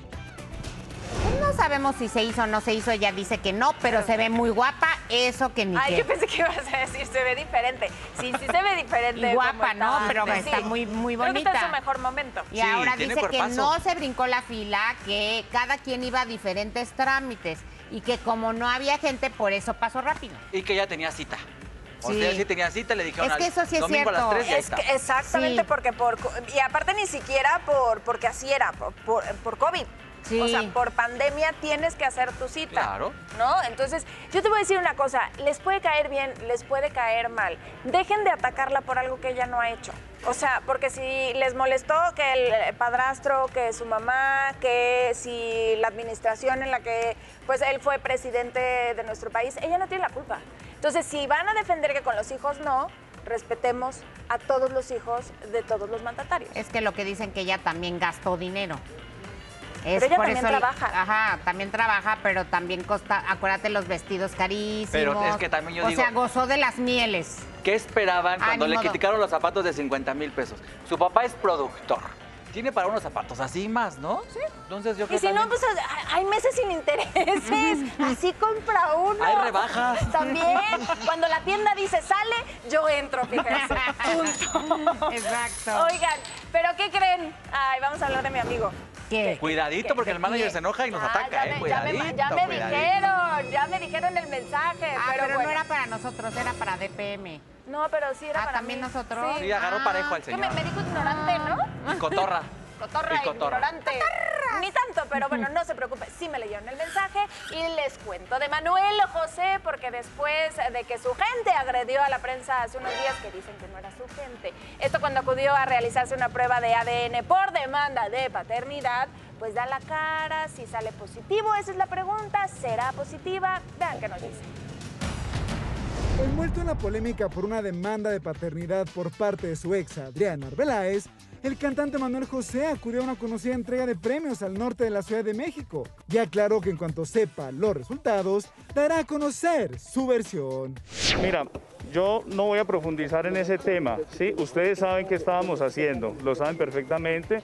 Como yo siempre lo he dicho, que yo iba a estar siempre presto para todo lo que se presentara dentro de ese proceso. Y vamos a hablar de eso en su justo momento. Desmintió que haya existido tráfico de influencias la vez que se encontraban los juzgados de lo familiar en Aucalpan, en el Estado de México. Eso es algo absolutamente normal, porque como uno está en este medio, eh, uno pide autorizaciones con antelación para poder tener ese, ese acceso. Ustedes saben que esos accesos son eh, eh, privados. Cuando abrieron la puerta para que saliera el carro, ingresaron unos periodistas hasta la parte de abajo y eso no estaba permitido, porque ellos no tenían ese acceso. Entonces por eso se presentó ahí como... ¿Estás preparado para lo que venga? Por otro lado, insistió que nunca le interesó llevar el apellido de José José. Esto ante la supuesta denuncia que existe en contra de los laboratorios que le practicaron la prueba de ADN, que resultó ser negativa en 2011. No, no he tenido ningún detalle, pero ojalá tengamos noticias. Yo no, no estoy vinculado todavía en el proceso. Se dice que familiares ya, ya están a, a favor y van a apoyarte para volver a hacer esta prueba. ¿Tú sabías esto? Pero no es mi interés, o sea, seguir profundizando en ese tema. Han tergiversado mucho mi propia historia de vida. Yo nunca reclamé una paternidad, yo nunca exigí nada, yo nunca exigí un apellido, yo nunca salí a tratar de chantajear o de extorsionar a alguien por eh, mi filiación. Nunca me interesó que me reconociera, que me diera un apellido. Aquí está simplemente Manuel José con su propio nombre, haciendo su propia historia. Al final, aclaró que responderá como padre en caso de que la prueba de ADN resulte positiva. A todos los llamamientos de las autoridades hay que asistir, por supuesto, claro que sí. positivo, ¿qué vas a hacer? ¿Vas a Por supuesto, claro que sí. Es lo que uno tiene que hacer. Soy Omar Argueta, sigue en Sale el Sol. ¿Le creen? Me, me encanta esa parte de las celebridades, tenemos que salir por esa puerta. Pero lo que sí te voy a decir, las críticas del otro día, como quiera, sirvieron. Porque ahora se detuvo a contestar. Claro. Correcto. Y entonces, aunque sea un poco agobiado por los micrófonos encima, porque luego también sí le ponen algunos micrófonos muy cerca, eh, pero contestó de todo y con educación y todo, porque yo te digo que lo considero que es muy educado, nada más que no sé por qué ese día estaba tan de malas o hecho al- a la gente que lo ayuda a empujar al reportero y demás. Exacto. Ahora, esperemos que sí, porque recordemos, él dice que si la prueba sale positiva, se va a hacer cargo. Esperemos que sí lo haga, porque la prueba de ADN con José José salió negativa y él aferrado, aferrado, aferrado en que era hijo de José José. Él dice que no quería el apellido. Entonces, pues hubiéramos empezado por no querer eh, iniciar una carrera por ahí, ¿no? Claro, para... Pero, ¿tú qué opinas? Yo no Es le que creo no. nada, pero que le vaya muy bien. Que le vaya muy bien Ah, sí, ¿no? sí, no, lo es veo- talentoso. lo veo muy seriecito, Muy Sí, talentoso, muy Es talentoso. talentoso y no le deseamos mal, nada más que eh, José José es una persona muy querida en nuestro país y pues digamos que empezó con el piecito izquierdo. Oigan, tenemos a papachos para todos en casa, ¿eh? Fíjate nada más, querida Joana, tenemos pases para ver el concierto online, en línea vía internet, como decimos. Este sábado va a ser el concierto, conéctese con las redes de Sale el Sol para ganarse estos pases. Va a estar buenísimo, Ay, ¿eh? ya me voy a conectar. Ay, qué rico, qué bonito día, Ani, pero te tengo que contar algo. Sakir conoció a una mujer entregada, guerrera, trabajadora, que a pesar de los obstáculos no se ha detenido jamás, como muchas mujeres en México. ¿eh? Exacto, Pau. Ella es Doña Mari, mujer fregona, como debe de ser, que aparte siempre está sonriendo. Oye, ¿y por eso qué crees que se ganó? ¿Qué? Un día libre, vamos a verla. ¡Qué emoción! Celibres, en esta ocasión le daremos el día libre a una señora que le gusta arropar a la gente. ¿Quieren saber de qué se trata? Vámonos del otro lado del estudio. ¿Cómo le va? Buenas tardes. Cuénteme, ¿a qué se dedica? Yo me dedico a mi negocio, vender ropa. ¿Desde cuándo se dedica usted a vender ropa? Hace como dos semanas. Porque tengo año y medio que no trabajo. Descansaron en el trabajo. Así que me dedico ahora a vender. Más o menos, ¿usted cuánto gana en un día que dice, "Güey, pues ya con esto la armé para al menos los chuchulucos? Ah, a veces me gano 30 pesos. A veces me gano 20. A veces nada. ¿Cómo le hace usted para agarrar todo de broma y ser tan alegre? es de las mías. Para que no me acuerde de que hoy no comí, mañana tampoco. ¿Usted tiene esposo, amigo, novio, perro, tragón, flores que regar? Sola. Más vale sola que mal acompañada. Porque luego la dejan a uno abandonada. Como me quedé yo. ¿A usted Con los cinco abandona? hijos, mira. ¿Con cinco? ¿Y luego qué pasaron con esos hijos? Pues ahí están en la casa. Vamos a hacer un súper, ¿cómo ve? Sí, está bien. Compre la fruta, las verduras. ¿Qué pasó? ¿Cómo va, doña Mari? Muy bien. ¿Cuánto lleva, oiga? 95, ¿vio? No, cómprele con ganas. Oh, mire, ya está, está ligando, ¿verdad? ¿Usted qué onda? Ahí está, ya lo escuché diciéndole, enséñales tu bella cara. Que te vean, mi amor. Sí, yo, yo soy el encargado de aquí del puesto. Yo pensé que ya lo andaba enamorando. Mire, me voy a dar otra vuelta y escójale otras cosas. Pero esto es para que alguien te cocine, ¿eh? No que tú cocines. Tú llevas las cosas y te cocinas. Eh, qué buen pensamiento, porque así pasa. Exacto. Yo no voy a cocinar, me van a cocinar. Va, que ese sea. ¿Cuánto fue entonces? 172. Híjole, ya me voy, ahí usted paga. Gracias. Dios los perdone. Dios, galán. Hola. Qué bueno que me ayuden, ¿eh? Cada cuando viene para ayudarme. Esto va a ser muy fácil, doña Mari. Mire, si le hace así, se gana 50 pesos. Si le hace así, 100 pesos. Por cada golpe le voy a dar 100 pesos, ya lleva 3. Vamos a mandar traer su representante. A ver, mira, ven, que pase, ¿va? Sí, que pase. ¿Dos mil? ¿Ahora qué le va a dar a ella? Em, venga para darle su pelota. Por cada golpe que se iba a dar, a ver, tenga usted. Pero si no me dio uno. Se dio usted cuatro y otros 500. ¿Son míos? Sí. Gracias. Eso me gusta mucho que vengan a ayudar a la gente que no tiene nada. Así como yo. Me dio mucho gusto de estar con ustedes porque me pusieron alegre. Estaba muy triste de que no vendo nada. Pero ya me puse muy feliz por todo lo que me gané. Nosotros regresamos al foro de Sal el Sol. Me dio mucho gusto estar con ustedes. Ahora sí, véngase al oscurito. Vamos. Vamos.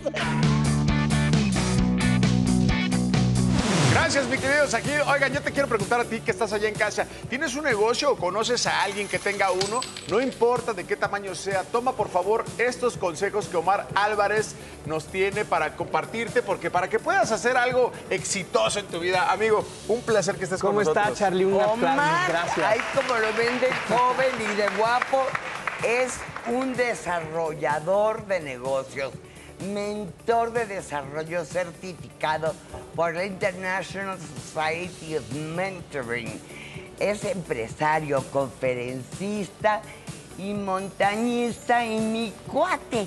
Bienvenido, muchas vida. gracias, Charlie. Un placer Bueno, estar aquí. yo puedo contar la historia. Claro. Su papá antes de morir le dijo, lleva mis cenizas al pico más alto de México. Y este cuate se muere su papá y no se había subido ni a la montaña rusa. ¿Eso fue lo que te motivó a hacer todo esto? Llega de la manera más increíble a mi vida el, el montañismo. Mi padre, antes de morir, pide que sus cenizas se lleven justamente a la cumbre de la montaña más alta de México. Y es así como me preparo un año para ¿Un poder... año? Te la dejó difícil, amigo. Bastante, bastante compleja. Y, y ¿sabes qué, Charlie? Que la montaña trae a mi vida un punto de inflexión, ¿no? Y la transforma por completo y llegan grandes cosas una vez que, esto es sucede. eh, Lo, lo que sientes es que todo se puede conquistar. Totalmente. Yo siempre digo, los alpinistas no solo escalamos montañas de roca y de hielo. En No. realidad las montañas que escalamos son las de la vida, ¿no? ¿Y cómo relacionas todo esto con los negocios? Para la gente que tiene un negocio y que a lo mejor no le va tan bien, ¿cómo relacionamos todo esto? Creo que las personas más dichosas, Charlie, son aquellas que hacen con su vida lo que realmente aman y les apasiona. Claro. Y, y de alguna manera yo tengo una filosofía que llamo la filosofía de la montaña, que se apalanca justamente en tres principios. Lo primero que yo digo es, a ver, venimos a este mundo a descubrir quiénes somos, a aceptar quiénes somos y a ser quienes debemos de ser. Claro. Y, y muchas veces los emprendedores hacen lo que posiblemente no les gusta, no les aman o no son buenos, Talina. Claro. Entonces, por supuesto que es importante apalancarse desde ahí. Esa es la primera, ser. Dos, soñar. Estamos prácticamente hoy buscando personas que detonen y lleven a la acción eso que tanto les guste y aterricen en un modelo de negocio. Y tres, servir. Si tu principal motor es volverte millonario, por supuesto que las cosas no van No a te salir. van a salir. Entonces serían tres principios que yo recomendaría a la gente. Aparte creaste una filosofía, ¿no? Filosofía de la montaña. ¿Es esto? Es esto, exactamente. Hoy eh, prácticamente la pandemia ha traído una ola de emprendedores que, que han tenido que hacerlo porque se han quedado sin trabajo Claro. o posiblemente han tenido que buscar un ingreso adicional.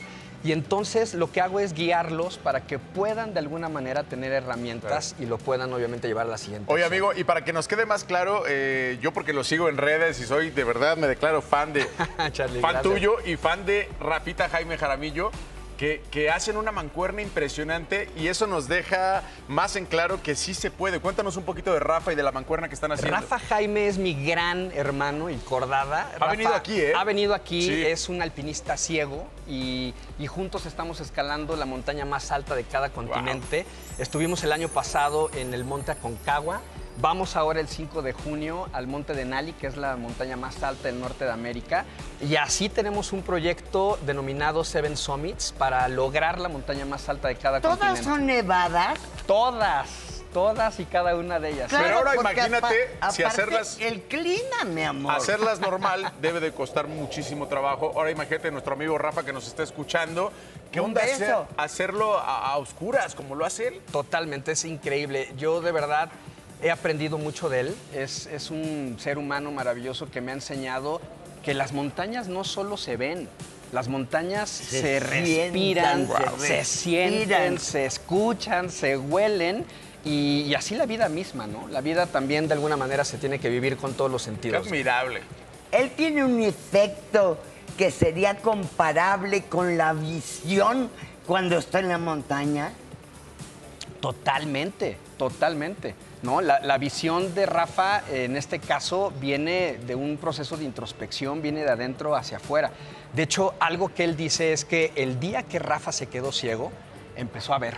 Imagínense nada más qué profundas palabras. Qué fuerte. Oye, María, algo que le quieres decir a todo el auditorio que nos está viendo para, para que los animes, hombre. Señores, estamos viviendo hoy en un momento complejo, ¿no? Muchas oportunidades allá afuera.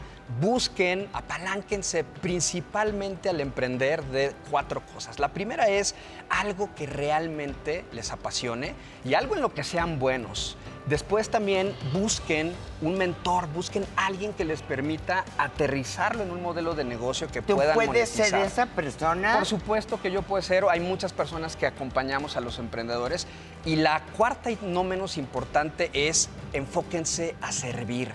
Enfóquense a encontrar un mercado al que puedan ayudar, un mercado y un problema que puedan solucionar. Y esas son cuatro grandes recomendaciones que hoy el emprendimiento puede ejecutar. Oye, amigo, yo te quiero dar las gracias. Un gran aplauso de todo el equipo hacia ti, hacia Rafita. Muchas gracias. Quiero comprometerte aquí en vivo a que después de, de- ¿Cuál es la siguiente montaña? Vamos al monte de Nali, la más alta eh, del norte de América en Alaska, y regresamos el 30 de junio. Nos vamos casi un mes. Y pueden regresar aquí al programa Por para supuesto, platicarnos. por ¿Me supuesto. traes fotos? Claro que sí. No te puedo pedir un pedacito de hielo, ¿verdad? No, llega. No llega, Tali. Dios te Muchas gracias, Omar. amor. Gracias, Charlie. Gracias, Un Rafita, abrazo. que nos estás ¡Bravo! escuchando.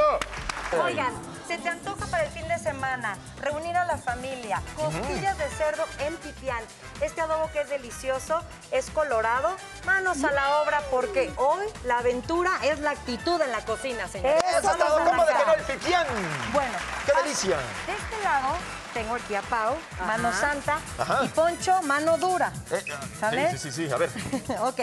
La salsa, ese pipián, ¿cómo lo hago? Vamos a cocinar las costillas desde cero. Es una receta que yo le hice muy modernona, pero el pipián es algo que a la verdad... De mucha tradición. De mucha tradición. Que es una salsa, al final de cuentas, es un adobo, dijiste, es una salsa, A ¿no? mí me recuerda a mi abuelita el pipián, El ¿verdad? pipián. A casa, ¿no? A casa, Huele casita. a casita y para el fin de semana que fin de semana que ideal. Bueno, Ok, a ver, venga. Ahí les va. Vamos a ir a la carnicería, que de hecho yo ayer estaba ayer. ¿Creerás que se prestaron los carniceros tipazos? Ayer hicimos el macho men en la carnicería. Ay, no Macho, te macho, creo. macho men. Oye, ¿lo grabaste o no? Lo grabé. Lo quiero ver. Sí, hice un Ah, reel con ellos, pero bueno. a macho men. Busquen y vayan y háganse amigo del carnicero y compren costillas cargadas de carne de cerdo. ¿Qué quiere decir Cargadas. Que la carnita es- no es nada más hueso, es mucha, mucha carne. Ok, bueno. Ok, Después, cargaditas, cargaditas. cargaditas. Ok. En un sartén vamos a hacer todo. Ahorita te paso la salsa. Pablo, Venga, venga, venga. de este lado. Yo aquí Bueno, estoy, aquí estoy. Voy a sellar, voy a agregar un poquitito. Un chisguetillo nada más. Un chisguetillo, sí, pero ya se vale porque voy a sellar. Ayúdame, Ajá. si fueras tan Con amable. todo gusto. Y vamos a salpimentar, ¿A qué? ¿sale? Salpimentar Ah. con tus fuerzas. Recomiendo siempre tener en casa, Pau, un molino donde la pimienta se muela. Así, dale con todo. Ay, Ah, caray. y- Sí. pues, ¿dónde está haciendo pimienta negra, Porque ya luego hay pimienta roja, pimienta hay verde. muchas pimientas, hay Pimienta pimienta, de la normal, ¿no? aromática, pimienta de la negra, de la pequeña, y es bien bueno. Si tienes en tu alacena luego muchas especias, no sabes para qué. Sería bueno dar un tip intermedio antes de la cocina o después para que sepa la gente. Igual, gustaría igual sale la normal, ¿no? Porque luego hay una del Himalaya, no sé qué cosas, nada más es para... Hay sales bien bonitas como la de nuestra cultura mexicana, que es la sal de Colima, la de Celestún. Pero es una sal normalita, ¿no? Una sal normal. Común, ok. Bueno, vamos a sellar las costillas. La a mí me gusta mucho ocupar este mané. Ay, Eso. Estoy ocupando aceite porque me encanta ocupar oleico porque está hecho de semillas de cártamo 100% naturales. Mira, soy mamá, me gusta cuidar la salud. Sí, muy bien. las grasas que tienen un contenido bueno, que son las, las buenas son las monoinsaturadas, Quesas, relájate, porque en salud es un aceite de muchísima confianza. Se llama. sano.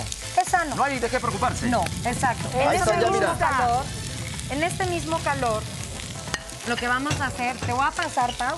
Espérame tantito, Poncho, porque Sí, sí, sí. Ayuda, nada más estás ahí parado. Cuidado, cuidado. Ok. ¿Qué hay No, aquí? sí estoy ayudando. Me va a ayudar a hacer el pipián. Tomatitos. Vamos a sellar las costillas de un lado y del otro. Tomate, ajo, cebolla. Lo ¿Lo pongo vamos a ir poniendo de poquito en poquito. Y para bien. hacerlo colorado, tengo yo chile ancho, que ya está limpio, ya está huecado, ya no tiene semillas, ya no tiene venas. Mira. Y lo vamos a pasar por el calor. ¿ok? Ok. Después, ahí te va. Te voy a poner el ejemplo y lo haces. Por favor. Solamente hay que pasar el chile Ajá. por un poquito de calor porque si exageramos, no, no, no se puede, este, se puede quemar y puede amargar. Estamos haciendo pipián para este fin de semana. Dale vuelta a todas para que queden así, Doradita. doraditas, Ok. selladitas, rico para el fin de semana. Ahí Órale, está. yo le doy la vuelta. Dale toda la vueltecita. A ver, tra- Esto huele espectacular. ¿Qué lleva el pipián? Lo podemos hacer con carne de cerdo, carne de res, pollo, pollo, vegetales, con setas, con hongos, que queda súper rico. Con todo, Muy rosas. Un buen arrocito junto. Y un buen arrocito. Ahora, ahí les va. Caldo, el que tengas en casa, lo vamos a licuar. Mientras Pau está licuando, le vamos a poner tomate, cebolla, ajo, le estamos sellando las costillas. Le vamos a agregar chile ancho para que esté coloreado y pepitas. La pepita ¿Qué le da pepita? muchísimo sabor. Después, ya se las pongo, ¿verdad? Ya, Poncho, ya, gracias. voy, mira, eh, mira. Poncho ya está dándole vuelta y después vamos a hacer esto. Cuidado, Poncho. ¿Qué es eso que le estás echando? Caldito de res, de costilla, de verduras, lo que ustedes ¿De pollo? tengan. Puede ser de pollo y es delicioso. Ok. Supongamos que ya pasó un tiempo, la televisión es magia. Aquí está, y ya mira. Ya pasó aquí 25 minutos. Ahí y está, después de mira. 25 minutos, el adobo que nos está ayudando a hacer Pau, lo vamos a poner de este lado, exacto. Adobo. Oh, Las la tarde en que nos vimos. No, bueno, no, no, no. Dios de mi vida. Ahí está. El adobo necesita solamente para que un mole o un adobo quede en su cocción correcta. Ayúdame a pasar las costillas aquí. Eh, con todo gusto. La grasa tiene que ir a la superficie y tortillas para que te quiero calentemos. Hagamos de un platillo generoso para este fin de semana. Y yo siempre te recomiendo algo. Oleico proporciona a los alimentos la perfecta sazón. Mm. Y acuérdate que está elaborado con especias 100% natural. Como debe de ser. Que esos son los aceites gourmet que yo en mi casa siempre los tengo. Oye, calentamos tortillas. ¿Ya puedo probar o no puedo probar? Ya puedes probar. Ya quisiera probar. ¿Puedo probar o no? Dale, claro, cuidado, no te me vayas a manchar. Ahí no. les va. A ver, déjenme me Ya con esto. Ustedes acompáñenlo con calabazas. ¡Qué delicia! Con calabacitas, va. Con calabacitas. A ver, a ver, a ver. Levántate el copetón. Era nada más adentro. la- Oleico, lo natural se nota. Presentó. Acá estamos todavía con mucha información de espectáculos. ¿Lista, Joana? Ay, sí, es que estaba viendo y dije, ¿por qué lo van a encuerar? Pero no, trae mandil. No, no sé por qué me agarró este carnal así. Dije, ya nos enseña los cuadritos Ay, ay, en vivo. No, uy, sí, ves que no le gusta. Vámonos con la información. Leti Calderón comparte con Sale el Sol que tuvo muchas reacciones tras aplicarse la, la vacuna del COVID-19. ¿Cómo se encuentra ahora? También cómo le está afectando la, situa- la situación legal de su ex esposo Juan N. ¿Saben por qué? Porque no puede sacar los pasaportes. Ella nos cuenta. Entrevistamos vía telefónica a Leti Calderón para saber su experiencia con la vacuna contra el COVID-19, misma que confiesa que le ha provocado algunos efectos secundarios, los cuales están totalmente supervisados por su doctor. En la noche me empezó a doler un poco el brazo, pero ya no pude ni cenar porque me empezó este, náuseas y taquicardia. Y pues me dio miedo, la verdad. Me dormí a las seis y media de la mañana porque no me quería dormir. Este, por la taquicardia, que todavía sigo con ella. Náusea, dolor de cabeza, y pues obviamente el, brazo ya, ya no lo podía mover. Y de hecho en 15 días pues voy a regresar a la segunda dosis, de modo, si me vuelve a dar reacción, pues me modo. Leti compartió que tenía planeado llevar a sus hijos, Luciano y Carlo, a vacunar a Estados Unidos, pero sus pasaportes aún no han sido aceptados y desconocen específico la causa. La idea de tener los pasaportes es pues porque simplemente es un derecho, es una cuestión legal que ellos este, merecen, no importa si el papá está detenido o es presunto este, culpable de algo, los niños no tienen nada que ver, no entiendo qué es lo que piden, ¿no? Este, fui una primera vez y me dijeron, es que necesita decir así, así, asado. Ah, ok, entonces regreso, tampoco es tan fácil sacar el poder notarial de Juan, pero pues ya me lo da, porque él está en la mejor disposición de, de dármelo, ¿no? El permiso de los niños.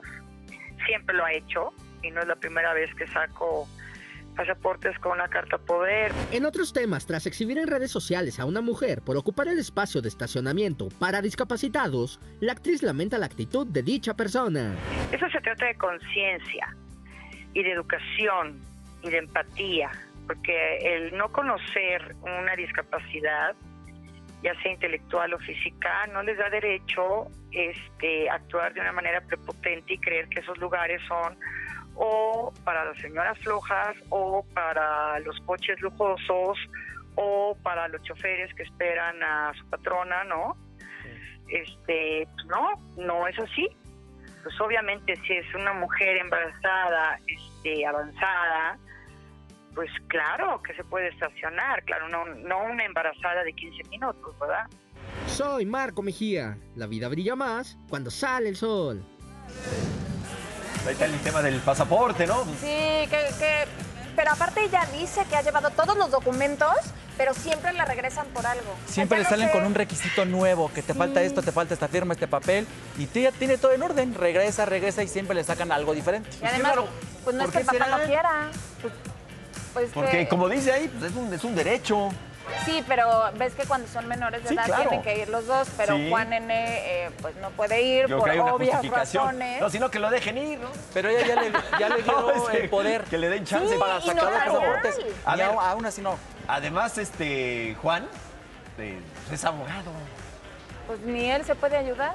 No, bueno, pero sabe, debe saber muy bien esto. O sea, Sí, hay claro. algo raro Ahí ahí. hay algo muy raro. Sí, porque es una justificación Sí, claro. más que clara. Así es. Eh. Pero bueno. Y el otro día que me decías que cada que ves a alguien en un lugar de discapacitados, como da coraje. Exactamente. Oigan, tenemos a papachos para ¡Ea! todos ustedes. Y es que mañana es el concierto del recién comprometido Cristian Nodal. Tenemos cinco pases para ustedes. Lo único que tienen que hacer es entrar a las redes sociales y sale el sol y se los llevan. Ahí está, para ver cómo se ve ya que está comprometido con el amor de su vida, dice. Exactamente. Eso dice. Vamos contigo, Carlos. Muchas gracias, muchachos. Vénganse para acá. Oigan, a todos en algún momento de nuestra vida nos ha costado pues muchísimo trabajo dormir. ¿Están de acuerdo, muchachos? Pero espérense, porque este día Ceci de los Ríos, biohacker, creadora del Smartphone Well 360, nos viene a presentar un invento que puede cambiar este problema. Ceci, bienvenida. Tal cual lo dijiste, traemos al niño que desarrolló una banda, es emprendedor, es, bueno, es todo lo que sabe, es increíble porque él lo que va a hacer es decirnos cómo vamos a recuperar nuestro sueño y a romper todo este problema de Pero insomnio. es increíble que Franco le dice a su mamá que por allá anda. Ahí está, mira, esa es la mamá. Le dice a su mamá que él ha pensado en hacer X o Y cosa y su mamá lo apoya. ¿Es así, mi amor? Sí. Y entonces, ¿por dónde empezaron? ¿Cómo se te ocurrió esto de crear una banda? Pues bueno, este, yo antes tenía muchos problemas de insomnio y entonces este, se me ocurrió inventar algo para no dormir. Ok, ¿a los cuántos años? Eh, A los siete. Ocho. A los siete años. ¿A los siete o a los Entre ocho? siete y ocho. Entre Sí, 7 y entre 8. siete y ocho. Oye, pero entonces se te ocurrió, pero porque viste algo o de pronto un No. día no podías dormir y dijiste, tengo que hacer esto. ¿Cómo fue? Pues estaba nada más así un día y dije, no puedo dormir, invento algo para no dormir, para poderme quedar toda la noche haciendo diferentes cosas. ¿Y qué creaste? Pues bueno, después este, fui con mi mamá y le dije, ¿sabes qué, mamá? Quiero inventar algo para no dormir. Ajá. Y me dijo, ok, pero investiga. Entonces, pues fui a investigar y me di cuenta que no podía inventar algo para no dormir, tenía que inventar algo para poder dormir. Claro. Entonces, después de ir a clases de neurociencias, me di cuenta que mandando impulsos de adentro para afuera, podías hasta volar un dron. Entonces dije, si puedes mandar impulsos de afuera para adentro, puedes mandar impulsos... de- ah, no, si puedes mandar impulsos de adentro para afuera, puede mandar impulsos de afuera para adentro. O sea, al revés. ¿Y sí se puede? Sí. Y en- Franco, enséñale a Charlie lo que tiene, O sea, lo ¿sí que lo tú lograste, Franco? Sí. A ver. Nada más no te lo pongas ahorita porque te me quedas ¿Y dormido. qué hacemos, verdad? A ver, ¿qué- ¿cómo se maneja o qué? Es una banda. Sí, entonces esto se coloca aquí en la cabeza. A ver, si quieres yo me la pongo. ¿Cómo va? No, no te vayas ¿Esto a así? quedar dormido. Ajá, ¿y luego? Se te pone aquí, a ver, te la como que vamos a ajustar. Ok. A ver, así y así. Ajá. Entonces ya, pues así le picas el botón que tienes acá atrás y empieza a funcionar, pero ahorita no porque te vas a quedar dormido. Ah, ok, no, no, no. Muy bien. Entonces pues tiene así cuatro Pero elementos. ves todo lo que tiene adentro la banda. Aparte de la mascarilla de total oscuridad, Ajá. porque también desde allá, tiene acá adentro pues todo, pues, la parte electrónica. Ok. ¿Que todo eso lo hiciste tú también? Eh, sí, junto a otras personas también, otros expertos, pues que ya... Tú les diste la idea y ellos te fueron como que Ayudando. ayudando un poco, ¿no? Sí. Eh, Oye, es aquí- algo increíble. De aquí adentro pues tiene el transmisor de impulsos electro, de pulsos electromagnéticos de 8 o 9 Hz es o ondas alfa. Entonces este, esto manda los impulsos y entonces te ayuda a poder dormir ¿En cuánto tiempo? Hace cuenta que hoy me la pongo llegando a mi casa y en cuánto tiempo ya estoy dormido. En unos 8 minutos. ¿En serio? ¿En cuánto? Sí, en 8 Ocho minutos. Te puedes quedar dormido con la banda y si no, nada más te la quitas y ya rapidito te quedas. O sea, porque la banda es para que estimule a tu cerebro para que se pueda dormir. Ok. Entonces tu cerebro se duerma solo. Entonces a los 8 minutos ya dejó tu cuerpo suficientemente relajado para que ya se duerma en su cuerpo. Toda la noche. Lo Qué que increíble, es increíble es que no solamente sirve para dormir, sino también para relajarte. Momentos que tienes mucho estrés, mucha actividad mental y quieres estar tranquilo, también te pones la banda 10, 12 minutos y te relaja increíble. Oigan, ¿y dónde puedo encontrar esta banda? ¿Ya la Eh, venden, amor? Sí, eh, le pueden encontrar en Instagram o Facebook en arroba banda neutónica.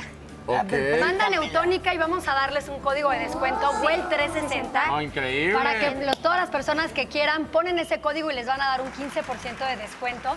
Y Franco va a estar en el foro, va a dar una conferencia Wow. junto con un doctor neurocientífico explicando todos los beneficios que tiene la banda para su salud. Oye, pues qué orgullo haberte conocido, hermano. Te voy a Gracias. comprar ahí mi, mi- mi bandita para poder Gracias. dormir. Y, este, y cuando inventes otra Ojalá cosa, te vienes para acá, hombre. Así empezó. Einstein. Así empezó, ahí nomás. Ay, Muchísimas nomás. gracias, Ceci. Es un gracias orgullo ustedes. tenerte aquí, mi Gracias, amor. amigo. Gracias, Gracias. Ceci, por traerlo.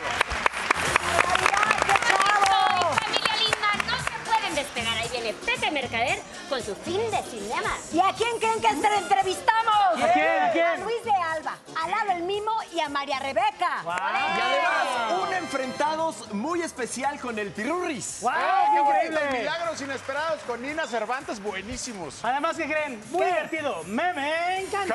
¡Qué divertido! Y las vamos a redes para cerrar con broche de oro detalles de la luna de miel del Canelo. ¡Ah, qué chismoso eres, director! La última palabra la tiene Gustavo Adolfo Infante. ¡No se despegue! Esto sale el sol. No se vaya, no se muevan. Buenos días, Zumpango. Sale el sol esta mañana aquí. Me encanta regresar y esta vez para presentarles a un joven llamado Alex.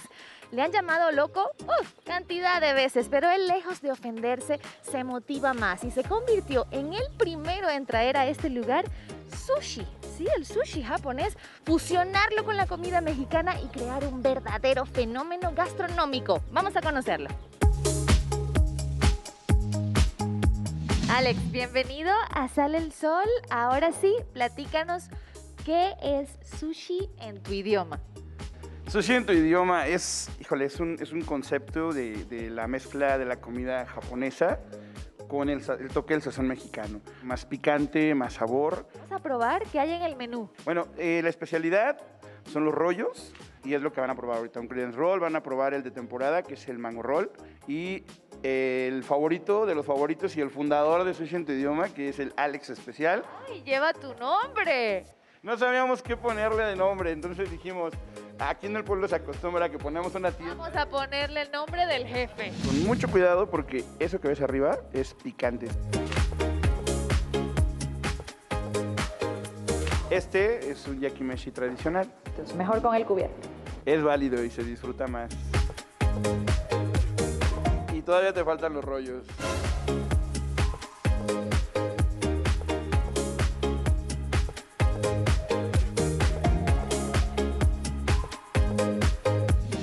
el maestro sushero haciendo la magia. Estamos mezclando los sazones japoneses con los mexicanos, aumentando el bistec, que es la grasita, algo picosito como son las salsas que creamos, los aderezos más picosos. Muy especial, maestra Sonia, este lugar para usted, porque estaba usted en casa ya jubilada, comenzó a aburrirse y dijo, necesito ir a un lugar a ser útil. Claro, pues aquí estamos trabajando y la oportunidad que me dan aquí para trabajar y aprender. Y por cierto, también hay tortas elegantes, por si se les antojó. Todo está delicioso. Gracias a todo el equipo con la manita. Nos despedimos. Hasta pronto. Adiós, gracias. Sale el sol. Muchas gracias. Oh, Dios ¿Qué mío. tal? ¿Se te acabó el amor? No, no me digas eso. ¿Qué puedes hacer? Le preguntamos a varias personas en la calle y esto nos dijeron. Gaby, el amor. Se te acabó el amor. ¿Qué haces? seguir la vida y disfrutarla. Me pongo a llorar. Busca otra persona. Pues buscaría la forma de arreglar y solucionar el problema. Me saldría con unos amigos. Yo creo tomarte un tiempo para ti y, y seguir. Busco otro. Me busco de plano otro y que viva el amor. Ay, ay, ay, qué tema. Eso opinan muchísimas personas. Pero bueno, tú, Gaby Pérez Islas, que siempre nos acompañas y tienes una palabra impecable en todos estos temas. Bienvenida. Bienvenida. Ay. ¿Qué nos puedes decir, hombre? ¿Es mejor decirlo de poco, de golpe? ¿Se muere el amor realmente? Mira, ahorita que me estaban haciendo favor de peinarme, me dijo una chica muy sabia aquí atrás. El amor no se muere, nada más cambia de domicilio. Lo que pasa, y tiene toda la razón, el amor se tiene que cuidar, Charlie. Y sé que puede sonar como lo más cursi de la vida, de que si no riegas la plantita se muere. Pero el amor es todos los días elegirte. No se vale una vez haber dicho, sí, te elijo y sí quiero estar contigo, sino decirlo todos los días y trabajar en ello. Entonces, sí se acaba el amor y sí se vale que se acabe. Lo que no se vale es mentir y ahí va la diferencia. Pero ¿no? se acaba, Gaby, o cambia. Porque yo te puedo amar hoy como pareja y de pronto ya me doy cuenta que quiero que seas mi amigo. Sí, pero entonces este, este- esta migración del amor ya no es el amor de pareja del que estamos hablando. cambia. Claro. Esta pasión, este deseo, o sea, ser una pareja implica muchas cosas. No nada más llevarnos bien, ser compañeros o compartir los gastos. Y hagas lo que hagas, se acabó, se acabó. Cuando se acabó, se acabó. Y mira, si tú tienes la mano y pones un puñito de arena, ahí se queda. Cuando lo quieres retener y aprietas, se te escurre Sale. entre los dedos. Claro. Así que mejor no aprietes. Oye, Gaby, y muchos consideran que cuando se acaba el amor sería un fracaso. ¿Lo deben de ver así? ¿Es Yo un creo fracaso? que no. ¿Sabes cuál creo que es el fracaso, Ani? Quedarte en una relación que ya no funciona por las razones equivocadas. Quedarte en una razón por el miedo, por la costumbre, por... No sé, bueno, es que los hijos son un tema. Yo tampoco quiero que ahorita salga todo el mundo a buscar el amor y le pase por encima en este tren de las oportunidades que hablábamos. Tampoco arrolles con eso a toda tu familia. Hay que saber hacer las cosas y salirte por la puerta grande, no por la puerta de servicio.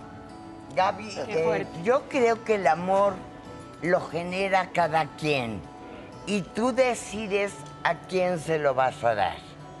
Pero él ya no llena tus requisitos, tú no pierdes el amor.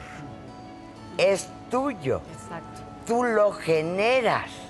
Y entonces dices, bueno, con él no pudo ser mm, contigo. El amor no se muere. Nos moriríamos nosotros. El amor está dentro de nosotros, no en el otro. Y tú decides a quién se lo das. Ay, Sí, maestra. Tali. Es que sí, no, creo que la finalidad del ser humano es encontrar el amor, ¿no? Todo Claro, está pero basado el en amor el amor. aquí está. Pero mira, a veces necesitas dejar de estar en el otro para estar en ti. La capacidad de amar la traes puesta. En efecto, no se la lleva nadie. Pero primero tienes que empezar por amarte tú y saber si tus necesidades desde fisiológicas, o sea, las primeras, si duermes, si comes, si tienes relaciones sexuales, o sea, todo lo que son necesidades básicas, que luego a lo mejor con los años se transforman en afectividad y otras cosas, pero a ver si están resueltas. Tú ves parejas que no duermo, no como, espérame, eso ya no es amor. Es tan fácil que se vuelva algo enfermo o se vuelva codependencia. ¿Tú qué opinas, Luis, sobre esto?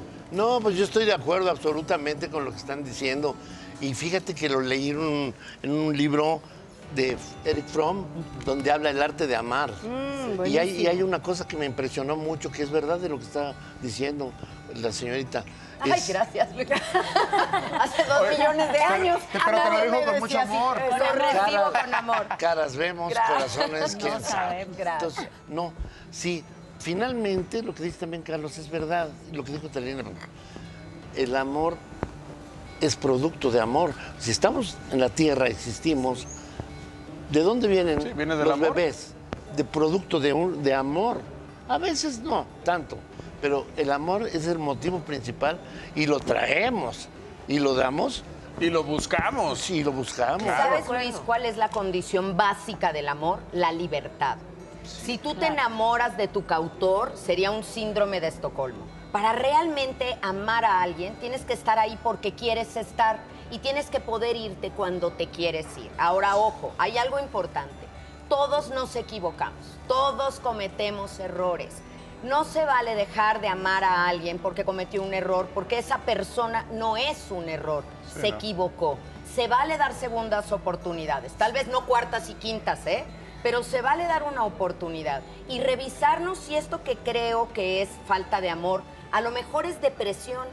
A veces confundimos, ya no quiero a mi pareja y lo que pasa es que ya no me quiero a mí, estoy en un momento triste. Privarte de amar es un error gigantesco. Pero existirá alguien que no puedes ame. privarte de amar, Gaby. Yo creo que sí hay personas Que que, se boicotean. momentáneamente se boicotean. Pero alguna vez a fuerza amaste algo, ¿no? Ah, no, sí, claro. Has amado y te han amado.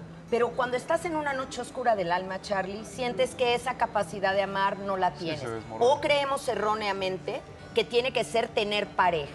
Yo creo que esto se Claro, proyecta claro. cuando aman, como aman su trabajo, como aman su profesión, los animales, todo lo que yo veo que ustedes aman, Sí, claro. ahí está presente y eso, eso emana. Pues el amor por ti nunca se nos va a acabar, mi querida Gaby. Nunca Muchísimas nos gracias. amar. Gracias. Yo les recomiendo La niña a la que se le vino el mundo encima. Es un libro que tienes que leer, Luis, porque habla de eso.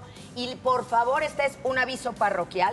Voy a hacer un taller en línea para todas las personas que han tenido un fallecimiento, algún familiar por COVID. Por favor, acérquense. Ahí está el correo, está en mi bio, en ¿Cuándo es todas esto? redes 26? sociales. Sábado 26 de junio a las 11 de la mañana. Es en línea para todo el mundo en tallertanatología.gmail.com. Todos los informes.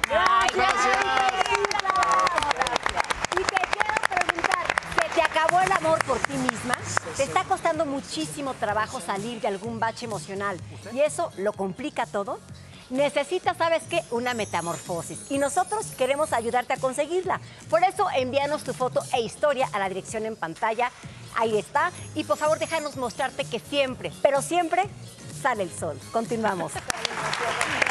Tenemos unos invitados. Voy a poner de pie, si me, si, si me permite, porque. ¿Qué, Voy contigo. ¡Qué barbaridad, por Voy favor! contigo. Miren nada más, qué figuras. Estos son para atacarnos de risa y de mucho más. María Rebeca. Don Luis de Alba. Messier Lalo el Vivo. Bienvenido. Carlos, Nacho, sácate. Gracias. Bienvenidos, hombre. Maestros. Tomen asiento, así. Gracias, gracias, gracias. Oigan, qué placer estar gracias. No, rodeados de los grandes, De, de, los verdad, grandes, ¿eh? en serio. Ellos sí son chistosos, ¿no? Como. Sí, no, no. este. Y además, con una nueva obra de teatro. ¿Quién nos platica? A ver. Ay, pues, don Luis, por favor. A ver, sí. Luis, sim- simplemente es una puesta en escena, no es una obra de teatro como tal, pero muy sui generis. Es una obra donde hemos logrado conjuntar, bueno, donde el productor Enrique Gou logró, yo no sé cómo, reunirnos a todos, a un grupo muy importante. Así Donde pro- promovemos a los jóvenes talentos. Está Carmen Salinas, Benito Castro. Pura sangre nueva, va vaso. sí, hijo. Es A ver si no se pone nervioso. La niña, la más, la más niña. Pero el y ya, ya, mira. título ya- de la obra. Oye, el título nos cogió la pandemia. ¿Qué podría llamarse? Nos, nos pegó o algo así. Nos revolcó, nos, Nos perjudicó. Pues, a- Bueno, total, nos Sí, sí, cogió. sí. Como anillo al dedo. Como anillo al dedo, sí. Ahora fíjate que estamos, estamos pensando anunciar, bueno, el señor Go, el productor, que mi mujer también la metió de productora, para lo que no me paga a mí. Bueno, ¿qué tal? Preciosa. Este, fíjate que es, de verdad es diferente, muy, muy diferente. Y sobre todo que ahora vamos a anunciar no por orden, reparto por orden de aparición, reparto por orden de desaparición. cabrón. No, hombre, no digan eso, por favor. No, ay, Por eso ya, ya- se nos fue el caballo, ya se nos fue Chatanuga, ya se nos fue. ¿Y, y- y qué sienten ahora de regresar a los teatros entre amigos? Porque bueno, ustedes han... Fíjate, fíjate que esta obra tiene la gracia que nos juntó a todos y estamos como en familia, de verdad. Sí, claro. Sí. Nos, nos hablamos de, hasta de tú nos hablamos. ¿Cuántos años de carrera, hombre? 62 yo, él más. Él empezó desde ¿Cuántos niño. ¿En serio? ¿En serio? De trabajar. ¿Cuántos años, Luis? 65. ando con- 65. Empecé a los 6 años. Era niño, niño. Catedrático y cantante.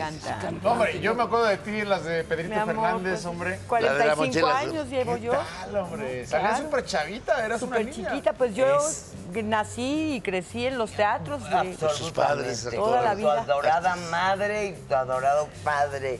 Hermoso. Tu madre en el cielo.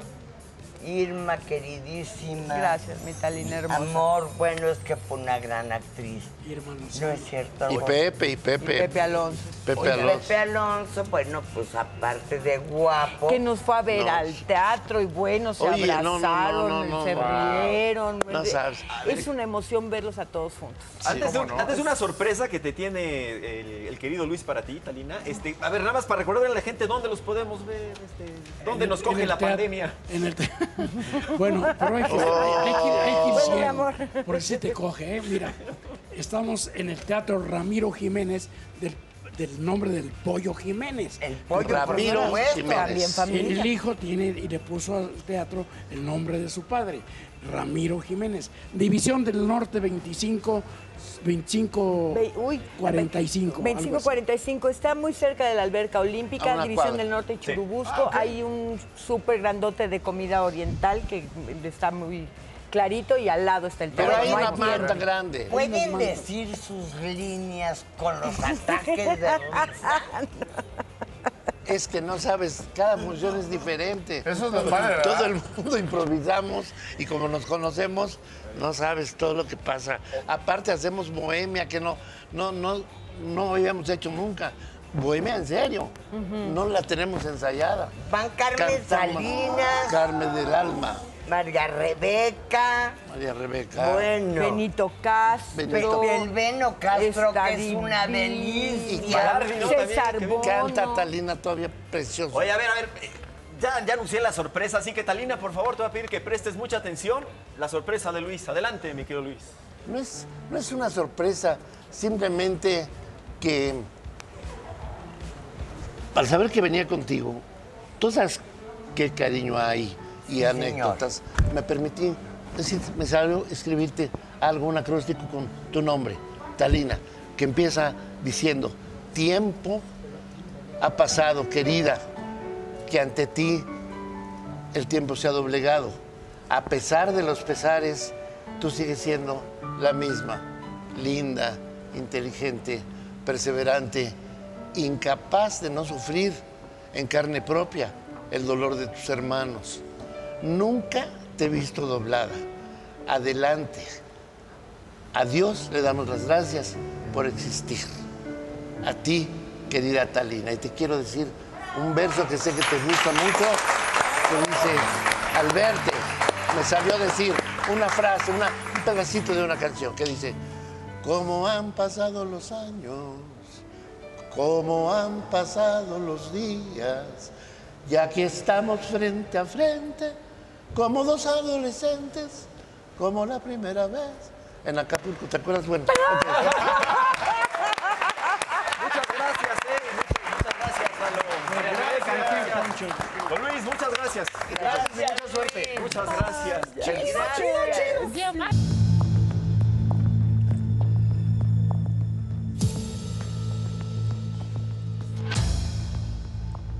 Tantos años, tanto compañerismo,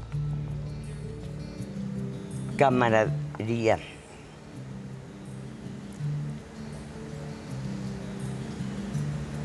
Luis, Luis de Alba. Luis de Alba que llega después de trabajar en las noches en un teatro. Es, ha sido un compañero muy valioso nuestra carrera. Ha sido premiada con amistades, con gente talentosa, con amor y entrega. Y hoy le vamos a sacar la sopa a mi Luis querido. Bueno. Ahí te va, mi cielo. Tú mandas, señora. Adorado. Mira. Papá. Háblame de él. Uno de las escenas más importantes en mi vida. No por el hecho de ser quien me dio la vida, sino por ser la gente que me orientó, por todas las partes que me hizo ser en mis principios morales, artísticos, apoyándome siempre. El que me exigió como un favor, cuando ya estaba yo en la televisión a los 25 años, ganando mucho dinero, mucho dinero en presentaciones en los teatros, etcétera. Él me dijo, por favor, me dijo, ya sé, pues yo le dije, papá, ya déjame poner un negocio, yo gano mucho dinero ya, sí, y además te pido un favor, termina una carrera universitaria, por favor. Es un favor que te estoy pidiendo. Y muy a regañadientes lo hice. ¿Qué estudiaste? Soy eh, licenciado en Relaciones Industriales de la Universidad Iberoamericana, mi, mi alma mater que amo con toda mi alma. Y de ahí, pues le cumplí a mi padre y entendí ahora la distancia porque me lo decía. Porque los principios de cultura de la universidad te dan armas y armas y más armas para vivir y para vivir bien. Que Dios tenga a tu padre en la gloria. Lo tiene. Infancia muy feliz. Voy a intentar resumirlo. ¿En dónde? Mi infancia se desarrolló en, en una colonia popular de estatus socioeconómico bajo y clase media baja, la bendita lagunilla en el centro de la ciudad, ahí crecí en una vecindad de ahí, en, en una vecindad que tenía ocho entradas por diferentes calles, donde vivíamos mucha familia, muchos vendedores del mercado, donde era mi todo. Ahí, Y ahí muchos crecí, ahí cuates. Uh, no sabes. Todos tus amigos. Amigos del alma, pues mis amigos de infancia, de juegos, cuando no se jugaba los juegos desintegradores de ahora, como el Nintendo y los, No, no, y los yo les llamo desintegradores, sí sirven, pero antes era canicas Las al burro canicas, castigado. mi amor, el- ¿tirabas de huesito o qué? Ah, tú también. Ah, yo también jugaba Hasta canicas. se rodilla bien parada y chiras pelonlas al hoyo. Hasta parecen albures, pero no. Bueno, entonces, esa, esa vida de infancia es lo mejor de lo mejor que me podía haber sido, aparecido como niño. Y ya cantaba yo, cantaba, estaba en, en la compañía... ¿Qué cantabas? Compañía Infantil de Zarzuelas y Operetas de Televicentro ¿Qué que cantabas? fundó Zarzuela y Opereta, que fundó el señor Ascarga Vidaurreta, que en paz descanse, el fundador de la empresa, y que era su como su consentido. Y me, hizo- me hice famoso por eso. El Pirurris. Pirurris es un personaje que me ha gustado mucho, porque mucha gente, aunque, no lo ta- enti- aunque no lo entienda, mucha gente piensa sobre todo los que son de, po- de poder adquisitivo alto, los que les dicen fifis o eh, bueno, los de la clase alta, piensan que yo, como personaje de Pirurris, estoy agrediendo a lo que le llaman no. naco. Y no, lo que no saben es que realmente estoy haciendo una burla, una caricatura de la gente clasista, que a mí la gente clasista no me gusta. Yo, La gente clasista, horrenda. no, por eso. Entonces, por eso hice ese personaje. Muy bien venido. El amor de mi vida, mi madre. Fue linda. Y mis hijos, sí, compositora. ¿Ah, sí? ¿De música? De- claro, ella le componía los tecolines. ¿Cómo crees? Sí, sí, sí. Y muchos le grabaron canciones hasta que mi señor padre, pues como buen mexicano, defectos tenía, le dijo, "Ch, ch, ya está. Ya está Párale. empezando a tener éxito. O tus hijos y tu familia, o tu musiquita con los tecolines.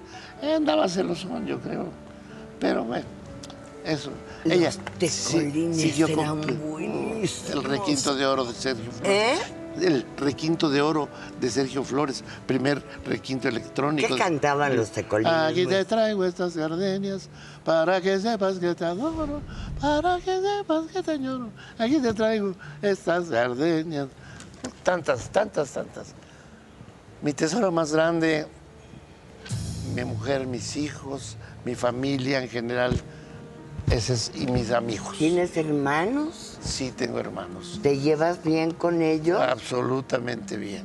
Tengo dos hermanos, uno jubilado de doctor, cardiólogo, anestesiólogo, y el otro es un empresario que vive en los Estados Unidos, en Virginia. Bien. Y se ven y se Nos quieren. vemos, claro, cada vez que podemos nos vemos. ¿Cómo saliste de la lagunilla? Pues fíjate que empecé a ganar dinero, empecé estando en la compañía con el señor Ascara que me metió a los siete años, me empezó a meter a las radionovelas, porque la televisión todavía empezaba a hacer radionovelas. Hay una que todavía no puedes creerlo, pero la pasan todavía en la radio a una distancia de casi 40 años, que se llama Calimán, el Ay, hombre increíble. Por Dios, yo oía Calimán. Ah, Para que veas. El, el pequeño Solín, el acompañante de siempre, era el pequeño Solín que hacía yo en la radio. No me digas, te tuve en mis oídos Fíjate. desde chiquita. Sí. Bueno, ni tan chiquita porque resulta que Luis y yo somos de la misma edad, pero yo soy como seis meses mayor. Mi reina, no creo en la edad cronológica. No, creo ¿verdad? en una mujer activa, hermosa, hoy, aquí, con vida. No existiendo, viviendo. Gracias, mi amor. Veamos. ¿De qué te arrepientes? De haber tenido una etapa en mi vida como todos, pero en mí me duele haber, haber caído. ¿En drogas? En drogas, en alcohol. De repente con la fama vienen muchas cosas como eso. Muchas Y tentaciones. lo malo es que te dejas ir. Bueno, yo me dejé ir. Y llegó un momento en que tuve que recurrir a ayuda, ayuda, porque hay que recurrir a ayuda para poder zafarme. No me volví santo, ¿eh? ¿Cuánto te duró? ¿Qué? Esa etapa nefasta. Pues, no, pues, ganaba muchísimo dinero, me duró como unos seis, cinco años, seis. Entonces, no lo entendía, tenía lo que quería, pero no era tan feliz como en la lagunilla, ¿cómo ves? Te lo creo. Sí. Claro. Eh, lo primero que hice cambiarme de la lagunilla, cuando ya ganaba dinero, a Tlatelolco, que era un poco mejor, y después de Tlatelolco, ganando ya mucho dinero, al Pedregal, claro. Ay, Casa sí. con alberca, por supuesto. No, por supuesto. Como buen naco, ahí andaba yo en las noches metido. Y como buen naco, Sí, ya vas metido en las olas de la alberca. Sí. Pues Ya dejaste el pedregal. Ya entendí que la vida no es lo material, la vida es vivirla, no existirla, vivirla, como en el caso tuyo. Porque si estamos aquí, la edad cronológica no importa. Tú eres Talina, el amor, la mujer, y yo también. Ahora te puedo afirmar, soy el hombre que vive, no que existe. Amo a mis seres queridos, a mi mujer, a mi familia, a la señora con la que estuve casado, a mis otros hijos, a mis padres, a todo el mundo, a mis amigos, mucho. El amor es lo único que nos queda, amor. Así es, así es. Es con lo que nos quedamos y como yo decía allá atrás, es nuestro. Es tu capacidad de amar. así es. A ver qué dice esta tarjeta que no lo vi. El día más triste. El día más triste, no puedo cuantificar cuál soy porque en la vida hay momentos tristes, difíciles, dolorosos y hay momentos que no lo son. Pero no es el día, sino los días que viví en el infierno de, de estar, De las de estar en la droga, sí. Infierno, auténtico infierno. El infierno. sueño por cumplir. Sí, señor. Dándole gracias a Dios, estar haciendo todavía lo que estoy haciendo y realizar, a pesar de que cronológicamente puede o no corresponder, realizar un programa donde pueda hacer lo que me gusta hacer que no hago. Por ejemplo, que se conozcan mis canciones, porque he tenido la fortuna de heredarlo. Lo compositor de mi madre me ha grabado, me ha hecho favor de grabarme la Sonora Santanera, Ándale. Vicente Fernández. Y esa faceta la gente Te no la conoce. invitamos aquí para que nos Mi canten. reina, tú dime cuándo. Toco el piano también. La próxima músico. semana, mi cielo. Reina, tú dime cuándo. Tú marcas. No, yo no marco. Mi productor nos dice, Andrés, que venga cuando. Tú me dices. El lunes ya, te aquí. quieren aquí. Bueno, ya, mi reina. Ahorita checo con mi, mi alto mando, mi repretransante, mi, mi empresaria, mi explotadora, porque es productora asociada de Enrique, con un amigo entrañable, que es el productor. Y es, es mi productora. Entonces, como yo les dije a la compañía, como productora la respeto. Y absolutamente. Ahora, como mujer y mi vieja, también. Bravo, te queremos mucho, amor. Adiós, mi cielo.